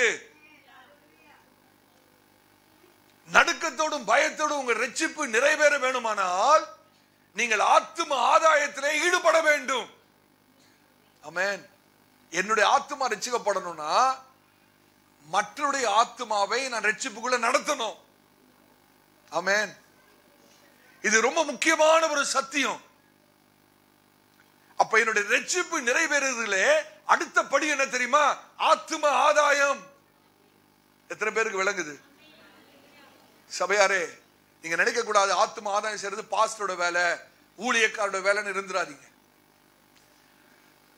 ஒவ்வொரு ரட்சிக்கப்பட்ட கத்துடைய பிள்ளையுடைய பொறுப்பு என்னவென்றால் மற்றவர்களை ஆண்டவராய் இயேசுவுக்கு நேராக நடத்தி ரட்சிப்பிலே நடத்த வேணும். அப்படி இல்லாவிட்டால் நீங்க அப்படி செய்ய தவறுவிட என்றால் உங்கள் ரட்சிப்பு நிறைவேறாது. அமேன் இன்னும் சொல்லணும்னா for my salvation I must win the other souls for Christ என்னுடைய ரட்சிப்பு நிறைவேறணும்னா நான் மற்றவங்களை ரட்சிப்புக்கு நேரம் நடத்தணும். எத்தனை பேருக்கு விளங்குது? இப்ப சொல்லுங்க எத்தனை பேரோட ரட்சிப்பு நிறைவேறணும்? உங்களோட ரட்சிப்பு நிறைவேறணுமா? பூரண அடையணுமா? முழுமை அடையணுமா? நீங்க என்ன பண்ணணும்? ஆத்மாவை ரட்சிப்புக்கு நேராய் நடத்த வேண்டும். சபையாரே உங்களுடைய ரட்சிப்பு உங்களுடைய ரட்சிப்பின் நிறைவேறுதல் மற்றவருடைய ரட்சிப்போடு கூட இணைக்கப்பட்டிருக்கிறது. உங்களுடைய ரட்சிப்பின் நிறைவேறுதல் மற்றவருடைய ரட்சிப்போடு இணைக்கப்பட்டிருக்கிறது. இது ரெண்டையும் பிரிக்கவே முடியாது. ஹலோயா எத்தனை பேர் ஒத்துக் கொடுக்குறீங்க எத்தனை பேர் ஒத்துக் கொடுக்குறீங்க உங்களோட ஆத்மா காக்கப்படணுமே பிரதர் சிஸ்டர் உங்க ஆத்மா காக்கப்படணுமே. உங்க உங்க ரட்சிப்பு நிறைவேறணுமே. நம்முடைய ரட்சிப்பை நான் காத்துக்கொள்ள வேணுமானால் நான் ஆத்ம ஆதாயம் செய்ய வேண்டும். அல்லனா என்னுடைய ரட்சிப்பு நிறைவேறாது பூரணப்படாது. ஒரே ஒரு உதாரணத்தை நான் உங்களுக்கு சொல்லட்டா? புதிய பாட்டில் ஆண்டவராக இயேசு ஒரு அழகான ஓமானத்தை சொல்லியிருக்கிறார். அதை நீங்க திருப்பி பாருங்க. மத்திய எழுதின சுவிசேஷம் இருபத்தி ஐந்தாம் அதிகாரத்தில். மத் நல்ல கவனிங்கள் தயவு செய்து கவனிங்கள். சத்தியத்தை விட்டுறாதி மத்திய எழுதின சுவிசேஷம் இருபத்தி ஐந்தாம் அதிகாரத்தில் ஆண்டவர் அந்த தாளந்தை குறித்ததான ஓமானத்தை சொல்கிறார். ஒருவரிடத்துல ஐந்து தாளந்து ஐந்து தாளந்து வாங்கின மனுஷன் என்ன பண்ணாரு? இன்னொரு ஐந்து தாளந்தை சம்பாதித்தார். இன்னொரு மனுஷங்கிட்ட ரெண்டு தாளந்து கொடுத்தாரு. அந்த மனுஷன் என்ன பண்ணாரு? இன்னொரு ரெண்டு தாளந்தை சம்பாதித்தார். ஒரு தாளந்தை வாங்கின மனுஷன் அவன் என்ன பண்ணான் அந்த தாளந்தை பூமியில புதைத்து விட்டான். இப்பொழுது எஜமான் வராரு. எல்லா இடத்துலயும் கணக்கு கேட்கும்போது ஐந்து தாளந்து வாங்கினவர் பத்து தாளந்தை கொண்டாந்து கொடுக்கிறாரு. எஜமானன் சொல்ற நல்ல ஊழியக்காரனே உண்மை உத்தமான ஊழியக்காரனே. ரெண்டு தாளந்து வாங்கினேன். அந்த ஊழியக்காரன் இப்போது வந்து நான்கு தாளந்தை கொடுக்கிறான். எஜமானன் சொல்றாரு உண்மை உத்தமான ஊழியக்காரனே. இப்ப ஒரு தாளந்து வாங்கினேன். அந்த மனுஷன் வந்து அந்த ஒரு தாளந்தை கொடுக்கிறான். அப்ரோஜனமான ஊழியக்காரனே என்று கத்த சொல்கிறார். வசந்த வாசிங்க. இருபத்தி ஐந்தாம் அதிகாரம். இருபத்தி நாலுல இருந்து முப்பது வரைக்கும் சீக்கிரமா வாசிங்க பார்ப்போம். இருபத்தி நாலுல இருந்து முப்பது வரைக்கும். மத்தையும் இருபத்தி ஐந்தாம் அதிகாரம் இருபத்தி நாலுல இருந்து ஒரு தாளந்தை வாங்கினவன் வந்து ஆண்டவனே நீர் விதைக்காத இடத்தில் அறுக்கிறவரும் தெளிக்காத இடத்தில் சேர்க்கிறவருமான கடினமும் உள்ள மனுஷன் என்று அறிவேன். ஆகையால் நான் பயந்து போய் உமது தாளந்தை நிலத்தில் புதைத்து வைத்தேன். புதைத்து வைத்தேன். இதோ உம்முடையதை வாங்கிக் கொள்ளும் என்றான். அவனுடைய எஜமான் பிரதியுத்தரமாக அவருடைய எஜமான் பிரதியுத்தரமாக பொல்லாதவனும் பொல்லாதவனும் சோம்பனுமாகிய ஊழியக்காரனே சோம்பலுமான ஊழியக்காரனே. நான் விதைக்காத இடத்தில் அரிக்கிறவன் என்றும் தெளிக்காத இடத்தில் சேர்க்கிறவன் என்றும் அறிந்திருந்தாயே. அப்படியானால் நீ என் பணத்தை காசுக்காரர் வசத்தில் போட்டு வைக்க வேண்டியதா இருந்தது அப்பொழுது நான் வந்து என்னுடையதை வட்டியோடே வாங்கிக் கொள்வேனே என்று சொல்லி அவனிடத்தில் இருக்கிற தாளந்தை எடுத்து நல்ல கவனிங்கள் அவனிடத்தில் இருக்கிற அந்த ஒரு தாளந்தை எடுத்து பத்து தாளந்துள்ளவனுக்கு கொடுங்கள். பத்து தாளந்து உள்ளவனுக்கு கொடுங்கள். உள்ளவன் எவனோ நல்ல கவனிங்களா உள்ளவன் எவனோ அவனுக்கு கொடுக்கப்படும். உள்ளவன் எவனோ அவனுக்கு கொடுக்கப்படும். பரிபூர்ணமும் அடைவான். பரிபூர்ணமும் அடைவான். இல்லாதவனிடத்திலிருந்து இல்லாதவனிடத்திலிருந்து உள்ளதும் எடுத்துக்கொள்ளப்படும். உள்ளதும் எடுத்துக்கொள்ளப்படும். பிரயோஜனமற்ற ஊழியக்காரனாகி இவனை புரோஜனமற்ற ஊழியக்காரனாகிய இவனை புறம்பான இருளிலே தள்ளி போடுங்கள். புறமான இருளிலே தள்ளி போடுங்கள். அங்கே அழுகையும் பற்கடிப்பும் உண்டாயிருக்கும் என்றான். அழுகையும் பட்கடிப்பும் உண்டாயிருக்கும் என்றார் இப்ப நல்ல கவனிங்க. ஆண்டவர் அழகான ஒரு தத்துவத்தை அந்த இடத்துல சொல்றார் பாருங்க. உள்ளவனிடத்திலே உள்ளவனுக்கு உள்ளவன் எவனோ உள்ளவன் எவனோ அவனுக்கு கொடுக்கப்படும். இது நமக்கு எல்லாருக்கும் தெரியுது இல்லையா? உள்ளவன் எவனோ அவனுக்கு கொடுக்கப்படும். உள்ளவன் சொல்லும்போது யார சொல்றார் ஆண்டவர்? பத்து தாளந்தை இருந்தவன் கொண்டவன். அவனுக்கு என்ன கொடுக்கப்பட்டது? பத்து தாளந்து இருக்கிறவன் உள்ளவன். அவனுக்கு என்ன கொடுத்தாரு? இருந்து வாங்கி இந்த ஒரு தாளந்தையும் கொடுத்தாரு இப்ப அவன்கிட்ட எத்தனை தாளந்து இருக்கு? பதினோரு தாளந்து இருக்கு. இது நமக்கு நல்லா விளங்கிரும். அடுத்த பகுதி வாசிங்க. இல்லாதவனிடத்திலிருந்து இல்லாதவனிடத்திலிருந்து உள்ளதும் எடுத்துக்கொள்ளப்படும். இல்லாதவனிடத்திலிருந்து உள்ளதும் எடுத்துக்கொள்ளப்படும். இப்ப இல்லாதவன் யாரு? இல்லாதவன் என்று சொல்லும்போது அவனிடத்துல என்ன இல்ல? தாளந்தே இல்லையா? அவன்கிட்ட ஒரு தாளந்து இருக்குல்ல? இல்லாதவன் என்று சொல்லும்போது அவன்கிட்ட என்ன இல்ல? இன்னொரு தாளந்து இல்ல. அவன்கிட்ட ஒரு தாளந்து இருக்குது. ஆனா ஆண்டவர் அவனை எப்படி அழைக்கிறார்? இல்லாதவன். அவன்கிட்ட என்ன இல்ல? இன்னொரு தாளந்து இல்லை. அப்ப இல்லாதவனிடத்திலிருந்து உள்ளதும் எடுத்துக்கொள்ளப்படும். இவன்கிட்ட ஒரு தாளந்து கொடுத்தாங்க. அதை ரெண்டு தாளந்தான் ஆக்கல அவன். ஒரு தாளந்தான் வச்சிருக்கான். இன்னொரு தாளந்து இல்லாதனால அவன் இல்லாதவன்.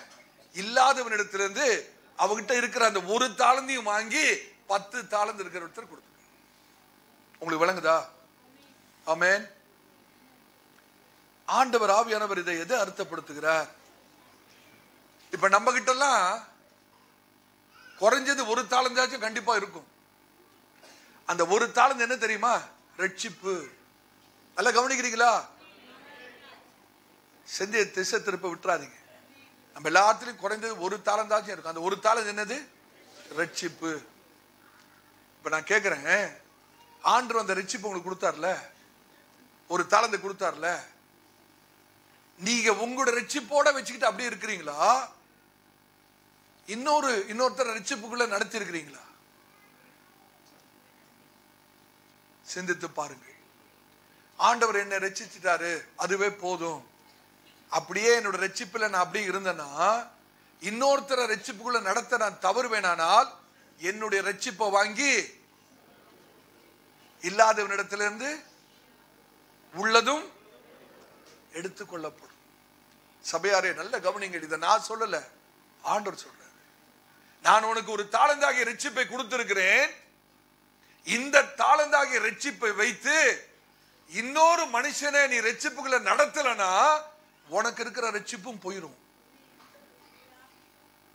எவ்வளவு பயங்கரமான ஒரு காரியம் தெரியுமா?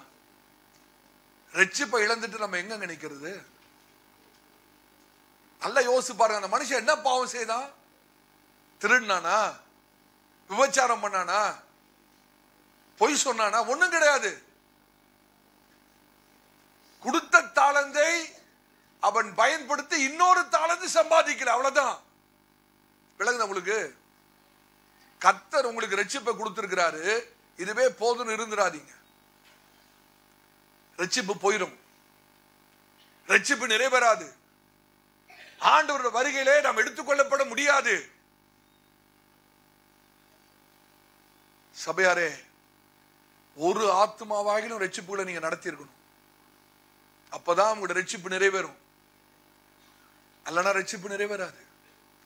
அல்லனா ஆண்டோட வருகையில போக முடியாது. நம்ம நினைச்சிட்டு இருக்கோம் நான் பொய் சொல்றது இல்ல திருடுறது இல்ல மத்த பாவத்தெல்லாம் செய்யறதுல நான் பரலோகம் போயிடுவேன் இல்ல இல்ல இல்ல.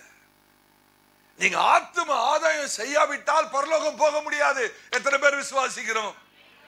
சத்தியம் பிரதர் இதுதான் சத்தியம். நான் சொல்றது கொஞ்சம் கடினமா தான் இருக்கும். ஆனா இதுதான் சத்தியம். என்னுடைய ரட்சிப்பு நிறைவேற வேண்டுமானால் நான் மற்றவர்களை ரட்சிப்புக்குள்ளே நடத்த வேண்டும். என்னோட ரட்சிப்பிலே நான் திருப்தியா இருந்துட்டு நான் ரட்சிக்கப்பட்ட அது போதும் நான் இருந்தேன்னா என்னோட ரட்சிப்பு நிறைவேறாது. நான் பெற்ற ரட்சிப்பை நான் இழந்து போவேன். நான் தாழ்மையா கேக்கட்டா? எத்தனை பேர் மற்றவங்களை ரட்சிப்புகளை நடத்தியிருக்கிறேன் நான் கையை பார்க்கணும். உண்மையா கத்தர் பார்க்கிறார். நான் இன்னொருத்தரை ரட்சிப்புகளை நடத்தி இருக்கிறேன் ஒரு பத்து கை இருக்கு. மற்றவங்களாம் எப்படிங்க பரலோகம் போக முடியும்? நம்முடைய சபையில பத்து பேர் மாத்திரம் பரலோகத்துக்கு போனா சந்தோஷமா? யோசிச்சு பாருங்க இத்தனை பேர் கூடி வந்திருக்கிறோம்? நம்முடைய சபையில ஒரு பத்து பேர் மாத்திரம் ரட்சிப்பு நிறைவேறி பூரணப்பட்டு ஆண்டோட வருகைக்கு போவோமானால் எவ்வளவு துக்கமா இருக்கும். இத்தனை வருஷம் ஆலயத்துக்கு வந்து சத்தியத்தை வாரந்தோறும் கேட்டு நாம் கைவிடப்பட்டு போவோமானால் அதை போல ஒரு நிர்பந்தமான சூழ்நிலை உலகத்தில் வேற ஒன்றுமே இருக்க முடியாது. தயவு செய்து ஜெபிங் ஆண்டவரே எனக்கு ஒரு ஆத்ம பாரத்தை தாங்க ஆண்டவரே. நான் என்னுடைய பிரச்சனைக்காக அழுததெல்லாம் போதும் ஆண்டவரே.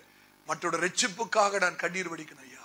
எனக்கு ஒரு ஆத்ம பாரத்தை தாங்க. ஒரு ஆத்மாவாகில நான் ரட்சிக்கு ரட்சிப்புகளை நடத்தி அன்னைக்கு நான் உங்களை சந்திக்கும் போது வெறும் கையனாய் சந்திக்க முடியாத ஆண்டவரே. ஒரு ஆத்மாவாகிலும் கொண்டு வந்து உங்களை சமூகத்தில் நிறுத்தணும் ஆண்டவரே. அதுக்கு எனக்கு கிருபத்தாங்கன்னு நம்ம கதறி கேட்போமானால் கத்த நம்ம எடுத்து பயன்படுத்துவாரே. ஹalleluya சபையாரே நான் ரொம்ப பாரத்தோடு பேசுகிறேன். உள்ளத்துல ரொம்ப வேதனையோடு பேசுகிறேன். எத்தனை வருஷம் நம்ம விசுவாசிகளா இருக்கிறோம். இன்னும் ஒரு ஆத்மாவை ரட்சிப்புக்குள்ள நடத்தலைன்னா நம்மளோட நிலைமை எவ்வளவு மோசமா இருக்கு பாத்தீங்களா? நம்முடைய ஆவிக்குரிய நிலைமை எவ்வளவு மோசமா இருக்கு பாத்தீங்களா? நம்ம நினைச்சிட்டு இருக்கிறோம் பத்து வருஷம் விசுவாசி பதினஞ்சு வருஷம் விசுவாசி இருபது வருஷம் விசுவாசி நினைச்சிட்டு இருக்கிறோம். என்ன பிரயோஜனம் இத்தனை வருஷம் விசுவாசியா இருந்து? இந்த ஒரு ஆத்மாவை கத்திரக்குள்ள நடத்தலையே. தயவு செய்து தீர்மானம். இன்றையிலிருந்து ஆண்டவரே நான் பார்க்கிறவரிடத்தெல்லாம் உண்மை பத்தி சொல்லுவேன் ஆண்டவரே. மற்றவர்களை ரட்சிப்புக்குள்ள நடத்துவேன் ஆண்டவரே. மற்றவர்களை ஞானசான சத்தியத்துக்குள்ள நடத்துவேன் ஆண்டவரே. மற்றவர்களை பரிசுத்தத்துக்குள்ளே நடத்துவேன் ஆண்டவரே. சபைக்குள்ளே கொண்டு வருவேன் ஆண்டவரே. எப்படியாவது அந்த நாளிலே நான் அநேக ஆத்துமாக்களோடு கூட நம்ம வந்து சந்திக்க வேணும். ஹalleluya அது போல ஒரு மகிமையான காரியம் ஒண்ணுமே பாருங்க இந்த ஒரு தாளந்தை வாங்கின மனுஷன் இன்னொரு தாளந்தை பெறாதபடினாலே அவனை அந்தகாரத்திலே போடப்பட்டு அழுகையும் பட்கடிப்பும் நிறைந்த அந்தகாரத்திலே அவனை போடுங்க. நரகத்துக்கு போறதுக்கு பாவம் செய்வேன் அவசியம் இல்லை பிரதர் ஆத்தும ஆதாயம் செய்யாம இருந்தாலே போதும் நரகத்துக்கு போயிடலாம். இன்னைக்கு எத்தனை பேருக்கு ஒரு தெளிவு உண்டாகிறது? ஹalleluya நான் பரலோகத்துக்கு போறேன்னா ஆத்தும ஆதாயம் செய்யணும். ஆண்டவரை பற்றி மற்றவரை சொல்லணும். ஐந்தாவது ஆறாவது படி. முதலாவது என்னது? விசுவாசம். ரெண்டாவது ஞானஸ்தானம். மூன்றாவது பரிசுத்த அபிஷேகம். நான்காவது பிரிக்கப்பட்ட ஜீவி. ஐந்தாவது ஆத்தும ஆதாயம் ஆறாவது எடுத்து வாசிங்கள் சீக்கிரமா முடிச்சிருவேன். மத்தேயு இருபத்தி நான்காம் அதிகாரம் பதிமூன்றாவது வசனம். மத்தேயு இருபத்தி நான்கு பதிமூன்று. முடிவு பரியந்தம் நிலை நிற்பவனே ரட்சிக்கப்படுவான் முடிவு பரியந்தம் நிலைத்து நிற்பவனே நிலை நிற்பவனே ரட்சிக்கப்படுவான் ஆமென். முடிவு பரியந்தம் நிலை நிற்பவனே ரட்சிக்கப்படுவான் ஆண்டவர் நம்முடைய ரட்சிப்பை ஆரம்பித்தார். அதோடு கூட நம்ம கிரியைகளை கூட்டிக் கொண்டே வருகிறோம். ஞானஸ்தானம் என்ற கிரியை கூட்டுகிறோம். ஆவின் அபிஷேகம் என்ற கிரியை கூட்டுகிறோம். அதுக்கப்புறம் பிரிக்கப்பட்ட ஜீவியத்தின் கிரியை கூட்டுகிறோம். ஆத்தும ஆதாயம் என்னும் கிரியை கூட்டுகிறோம். நடுக்கத்தோடும் பயத்தோடும் ரட்சிப்பு நிறைவேற இந்த பிரயாசங்கள் எல்லாம் நாம் எடுக்கிறோம்.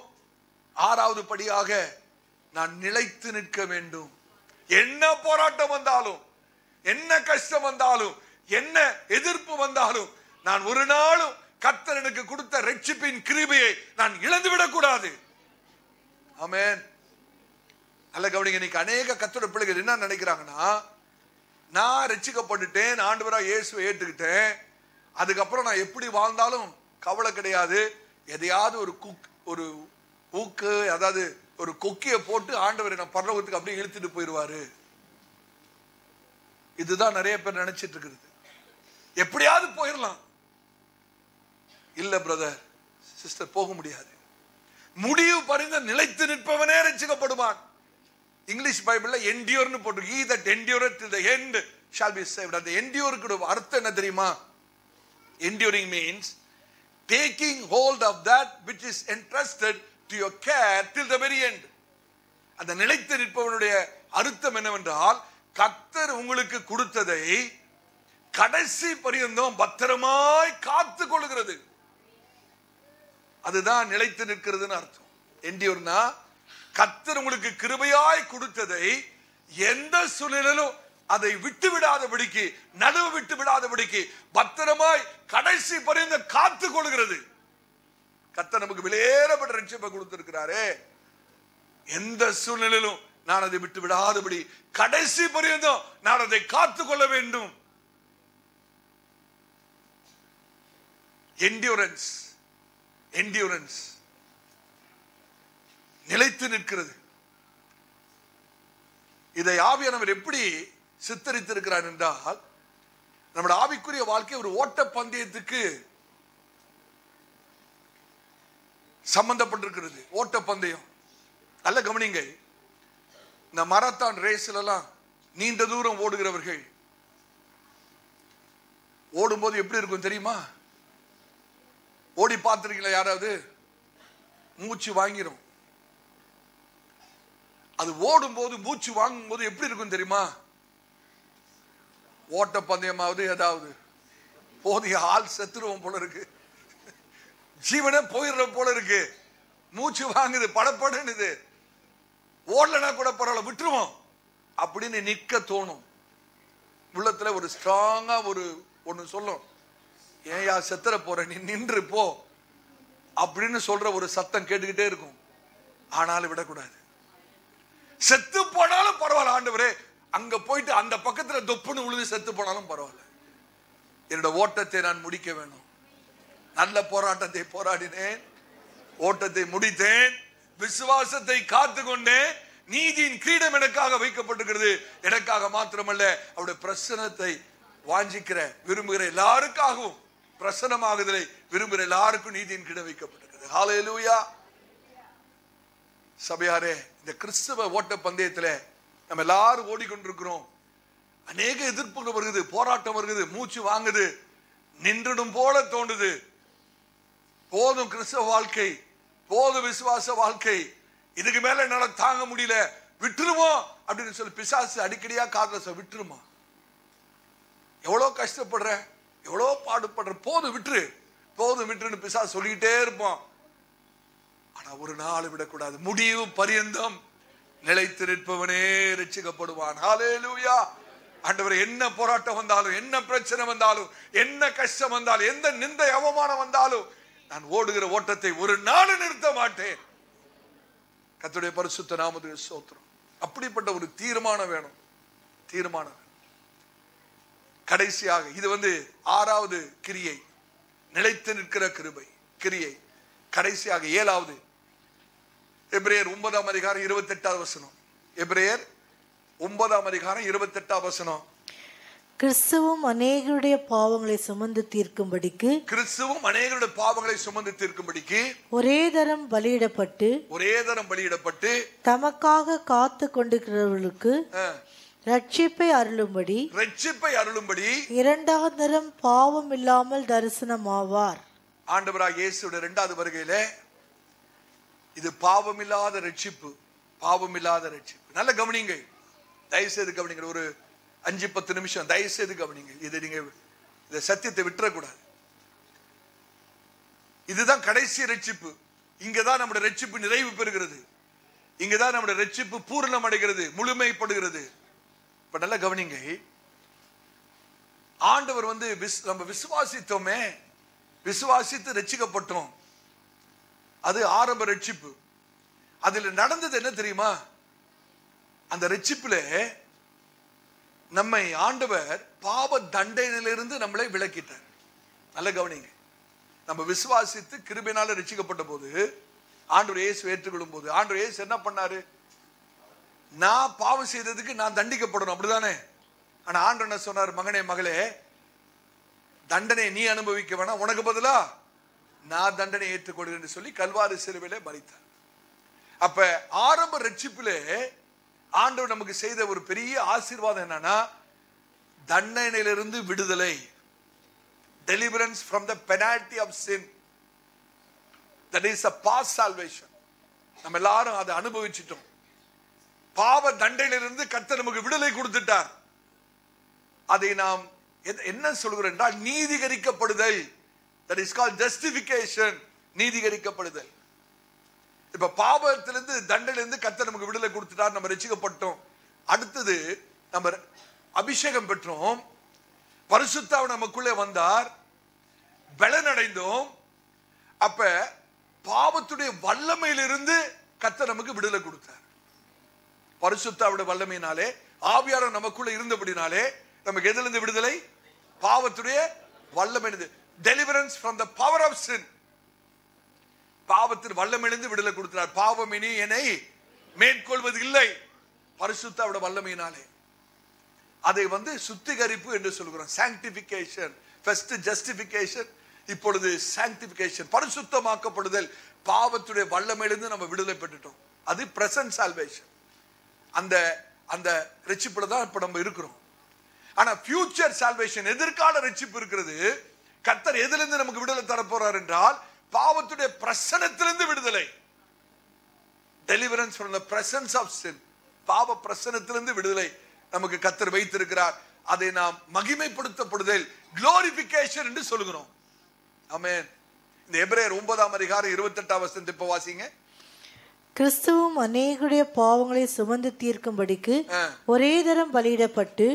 தமக்காக காத்து கொண்டு இருக்கிறவர்களுக்கு நமக்காக காத்து கொண்டிருக்கிறவர்களுக்கு ரட்சிப்பை அருளும்படி கடைசி எதிர்கால ரட்சிப்பு அந்த மகிமைப்படுத்துதலை கொடுக்கும்படிக்கு இரண்டாம் தரம் பாவமில்லாமல் தரிசனமாவார் இரண்டாதரம் பாவம் இல்லாத ரட்சிப்பு இது என்ன தெரியுமா பாவத்துடைய பிரசனத்திலிருந்து ரட்சிப்பு கத்தர் முதல் ரட்சிப்புல நம்மளுக்கு என்ன கொடுத்தாரு?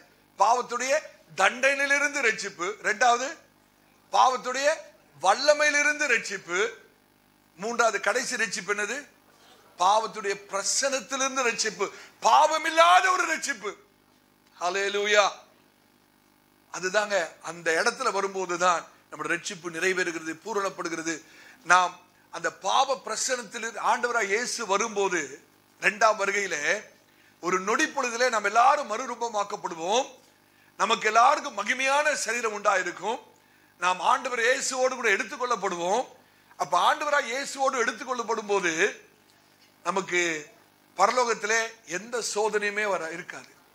அங்க பாவமே இருக்காது. அங்க பாவ பிரசனமே இருக்காது. அங்க பிசாசு இருக்க மாட்டான். நம்மளை சோதிக்கிறதுக்கு யாரும் இருக்க மாட்டாங்க? நம்ம நம்மளை காத்து கொள்ள வேண்டிய அவசியம் இருக்காது. ஹalleluya. அந்த இடத்துல பிசாசு நம்மளை சோதிக்க முடியாது. ஏனென்றால் பாவத்திலிருந்து முழுமையான ஒரு விடுதலை பாவத்திலே தண்டனையில் மாத்திரமல்ல பாவத்துடைய வல்லமையில் மாத்திரமல்ல நமக்கு என்ன விடுதலை கத்திர வைத்திருக்கிறார்? பாவ பிரசனத்திலிருந்து ஒரு விடுதலை வைத்திருக்கிறார். அந்த கடைசி ரட்சிப்புக்கு வரும்போதுதான் நம்முடைய ரட்சிப்பு நிறைவேறுகிறது. அதை தான் போல் சொல்றாரு. அந்த ரட்சிப்புக்காக நீங்கள் நடுக்கத்தோடும் பயத்தோடும் பிரயாசப்படுங்க பிரயாசப்படுங்க ஹலலூயா இந்த ரட்சிப்பு நம்ம எத்தனை பேருக்கு வேணும்? பாவ பிரசனத்திலிருந்து ஒரு விடுதலை. ஹalleluya பாவம் இல்லாத ஒரு ரட்சிப்பு. இப்ப நான் கேட்கிறேன் தயவுசெய்து கவனிங்க. எத்தனை பேர் ரட்சிக்கப்பட்டிருக்கிறீங்க? ரட்சிக்கப்பட்டிருக்கிறோம். ஹalleluya நம்ம எல்லாரும் ஆண்டவராக இயேசு விசுவாசித்தோம். எத்தனை பேர் ஞானஸ்தானம் எடுத்திருக்கிறீங்க? உங்களுடைய கிரியை சேர்த்திருக்கிறீங்க. எத்தனை பேர் அபிஷேகம் பெற்றிருக்கிறீங்க? கத்தருக்கு சோத்திரம். எத்தனை பேர் பிரிக்கப்பட்ட ஜீவியம் வாழ்றீங்க? ஹalleluya எத்தனை பேர் ஆத்ம ஆதாயம் செய்றீங்க? ஹalleluya எத்தனை பேர் நிலைத்திருக்கிறீங்க? பார்த்தீங்களா? அப்படி அப்படியே கையை கையை கொஞ்சம் குறையறதெல்லாம் போதும் பாருங்க.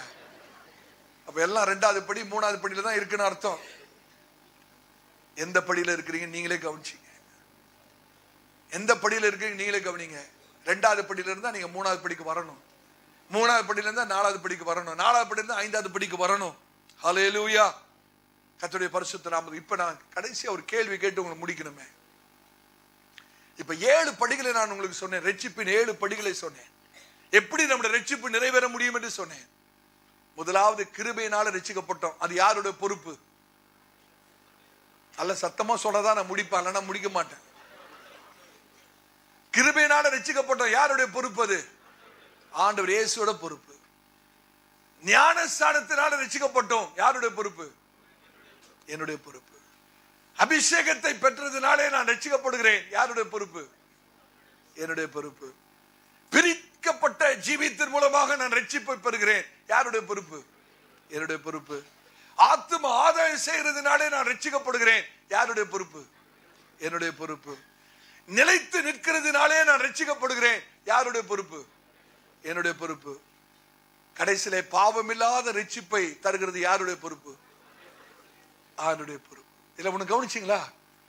முதலாவதும் கடைசியும் அவருடைய பொறுப்பு. நடுவில் எத்தனை இருக்கு? அஞ்சு இருக்கு. கிருபையினாலே நம்ம ரட்சித்தது ஆண்டுடைய பொறுப்பு. கடைசியில பாவமில்லாத சரீர மீட்பாகிய ரட்சிப்பை தருகிறது அவருடைய பொறுப்பு. ஆனா நடுவில் இருக்கிற அஞ்சும் உங்களுடைய பொறுப்பு என்னுடைய பொறுப்பு. ஹalleluya ஃபர்ஸ்ட் படியை கத்தர் நிறைவேற்றி விடுகிறார். அடுத்தது ஐந்து படிகளை நீங்களும் நானும் நிறைவேற்றணும். கடைசி ஏழாவது படியை ஆண்டவர் நிறைவேற்றி முடிப்பார். ஹalleluya அப்ப ஆண்டவர் ரிச்சிப்பை ஆரம்பித்திருக்கிறார். அதை நாம் தான் பிரயாசப்படும் நடுக்கத்தோடும் பயத்தோடும் அந்த ரட்சிப்பு நிறைவேற நாம் பிரயாசம் ஒவ்வொரு நாளும் பிரயாசம் எடுக்கணும். ஒவ்வொரு நாளும் பிரயாசம் எடுக்கணும். அப்படி பிரயாசம் எடுக்கிறவர்களுக்கு கத்தர் மகிமையான முடிவின் ரட்சிப்பாகிய சரீர மீட்பை கொடுத்து ஆண்டவராக இயேசுட வருகையிலே நாம் எல்லாரும் மறுரூபமாக்கப்படுவோம். கத்துடைய பரிசுத்த ராமது அப்ப ஆரம்பம் இல்லாமல் முடிவு கிடையாது. அப்ப ஆரம்பிக்கிறவர் யாரு? ஆண்டவர். முடிக்கிறவர் யாரு? ஓடுகிறது யாரு?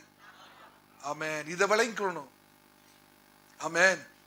நம்ம சும்மா உட்கார்ந்துகிட்டு அப்படியே ஆண்டவர் என்ன ரசிப்பு ஆரம்பிச்சிட்டாரு. அவரே முடிச்சிருவாரு. அவரே ஓடிடுவார்னு சொல்லக்கூடாது. எனக்கு ஞாபகம் இருக்கு ஒரு கிராமத்துல ஒரு திருமணம் நடக்குது. ஒரு இந்து திருமணம். இந்து திருமணத்துல தாலி கட்டுவார்கள் நம்ம எல்லாருக்கும் தெரியும். ஒரு வயசானவர் அவர் தான் முன்னால நின்று அந்த திருமண ஒழுங்கெல்லாம் பண்றாரு.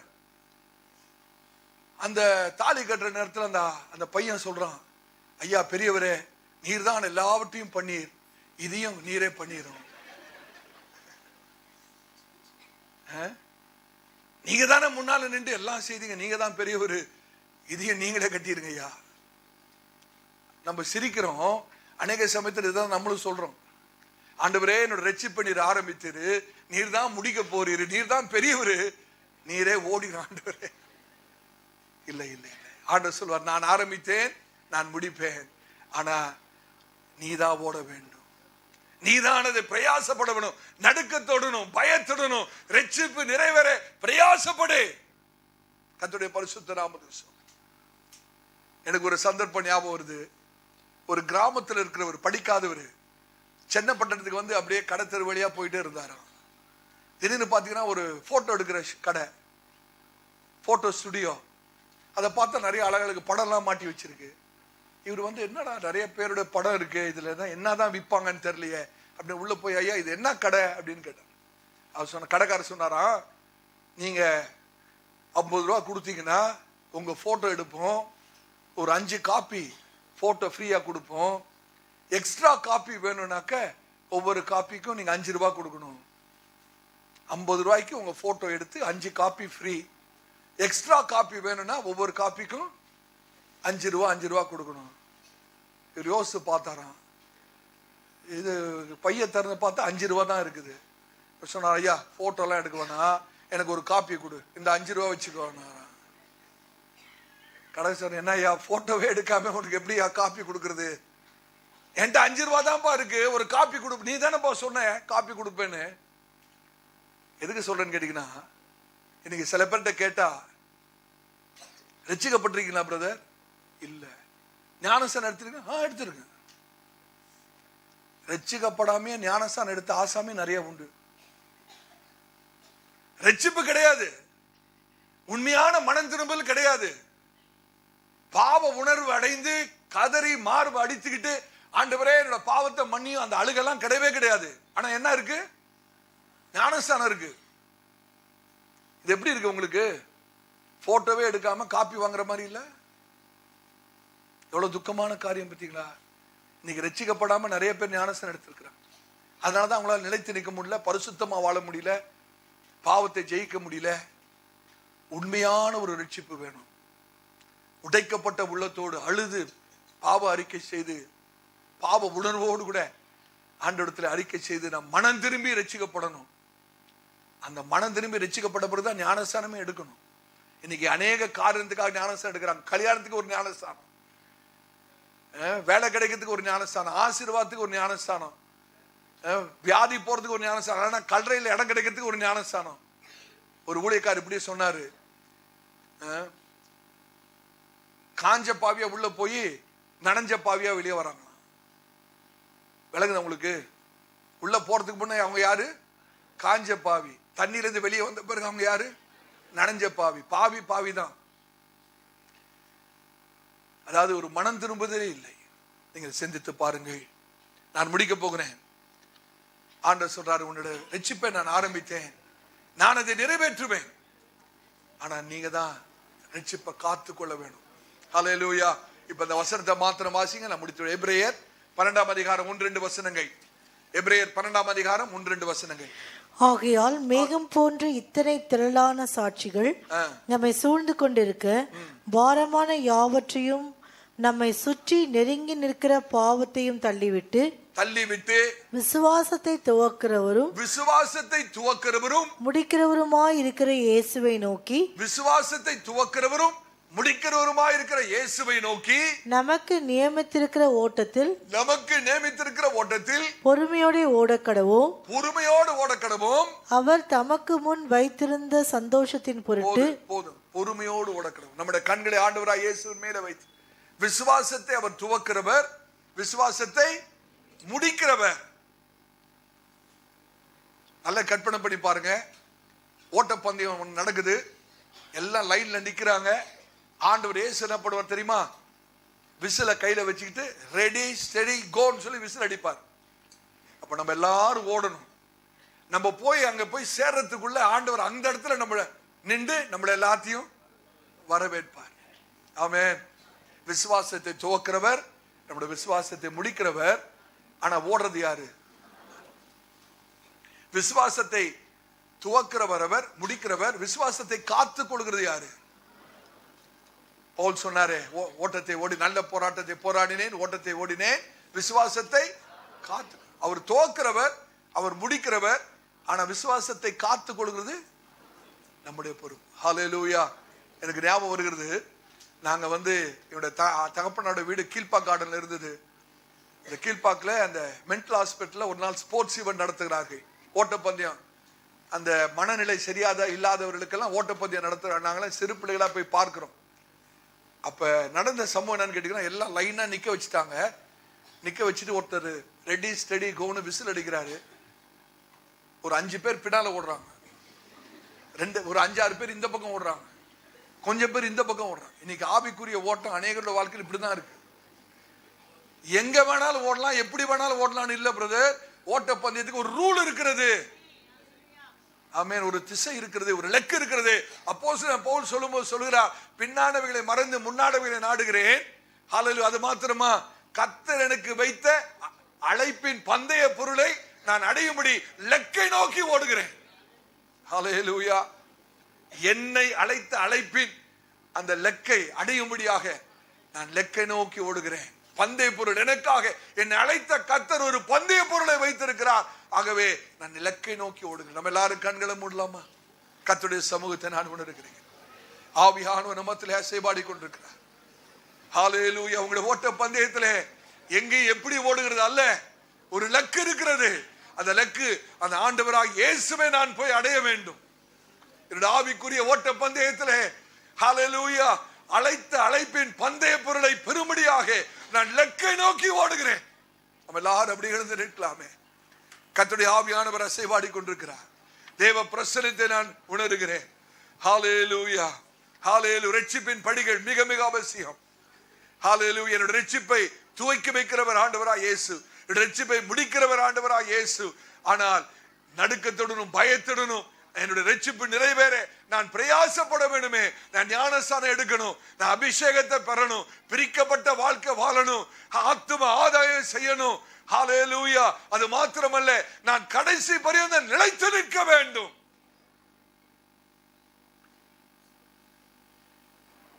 துவைக்க வைத்த ரட்சிப்புக்காய் சோத்திரம். அந்த ரட்சிப்பை அவர் நிறைவேற்றுவார். அவர் இரண்டாம் வருகையிலே ஒரு நொடி பொழுதிலே இந்த சரீரம் மறுரூபமாக்கப்படும். சரீர மீட்பு உண்டாகும் பாவ பிரசனத்திலிருந்து கத்தரனுக்குள் விடுதலை வைத்திருக்கிறார். நான் அவரோடு கூட நித்திய நித்திய காலமாக என்னென்றுமாய் நான் ஆண்டவராய் இயேசுவோடு கூட இருக்க போகிறேன். ஆனால் அந்த ரட்சிப்பு நிறைவேறணுமே. அந்த ரட்சிப்பு நிறைவேறணுமே. ஞானசான் எடுக்காதவர் தயவு செய்து எடுங்க. அபிஷேகம் பெறாதவர்கள் தயவு செய்து அபிஷேக ஆவியானவர் ஆவியின் அபிஷேகத்தை பெற்றுக் கொள்ளுங்கள் ஆத்தும ஆதாயம் செய்யாதவர்கள் இன்றிலிருந்து ஆத்தும ஆதாயம் செய்ய ஆரம்பியுங்கள். பிரிக்கப்பட்ட ஜீவியம் இல்லாதவர்கள் இன்றிலிருந்து பிரிக்கப்பட்ட ஜீவியம் செய்யுங்கள். நிலைத்து நிற்காமல் இருக்கிறவர்கள் உங்களுடைய விசுவாசத்திலே உங்களுடைய ரட்சிப்பிலே கடைசி வரைக்கும் நிலைத்து நிலுங்கள் கத்தர் கொடுத்த ரட்சிப்பை காத்துக் கொள்ளுங்கள் உங்களுடைய விசுவாசத்தை காத்துக் கொள்ளுங்கள் எதை இழந்தாலும் விசுவாசத்தை இழந்துடக்கூடாது மனுஷகுமாரன் வரும்போது பூமியில விசுவாசத்தை காண்பாரோ? இன்னைக்கு அநேகர் விசுவாசத்தை இழந்து விடுவார்கள். கடைசி நாட்களிலே உபத்திரவத்தின் நாட்களிலே அநேகர் விசுவாசத்தை இழந்து போவார்கள். ஆனால் கத்தரால் ஹலலூய தெரிந்து கொள்ளப்பட்ட சிறுபான்மையான ஒரு கூட்டம் உண்டு. அவர்கள் ஒரு போதும் தங்களுடைய விசுவாசத்தை விட்டு கொடுக்க மாட்டார்கள். விசுவாசத்தை காத்துக் கொள்ள அழைக்கப்பட்டிருக்கிறோம் எல்லாரும் வாயில திறந்து ஆண்டுக்கு நன்றி செலுத்துவோமா? ஹalleluya நன்றி ஆண்டவரே. ஹாலே லூயா ஆண்டவராக இயேசு சீக்கிரமாய் வருகிறார். நமக்கு சரீர மீட்பை தந்து பாவமில்லாத ரட்சிப்புக்கு நேராய் நம்மை நடத்தி நம்மை மகிமைப்படுத்தி அவரோடு கூட நித்திய நித்திய காலமாக பாவமே இல்லாதவரிடத்திலே தேவனோடு கூட அவருடைய முகமுகமாய் அவர்களை தரிசித்து ஹalleluya அவரோடு கூட இருக்கிற ஒரு காலம் சீக்கிரமாய் வருகிறது. கத்தருடைய வருகைக்காக ஆயத்தப்படுவோம். அன்பின் பிதாவே ஆண்டவராக இயேசு கிறிஸ்துவின் நாமத்தில் பாதப்பட வருகிறோம். இந்த நாளிலே கர்த்தர் எங்களோடு கூட இந்த நாளில் இந்த சத்தியங்களை பேசுனதுக்காய் சோத்திரம். ஒவ்வொருவரும் உணர்வடைய கிருபை செய்யும் ஆண்டவரே. ஒவ்வொரு உள்ளத்தில் ஆனமான கிரியை நடப்பீங்க ஆண்டவரே. நாங்கள் எங்களுடைய ரட்சிப்பு நிறைவேற பயத்தோடும் நடக்கத்தோடும் பிரயாசப்பட கத்தரங்களுக்கு ஒவ்வொருவருக்கும் கிருபை செய்வீராக.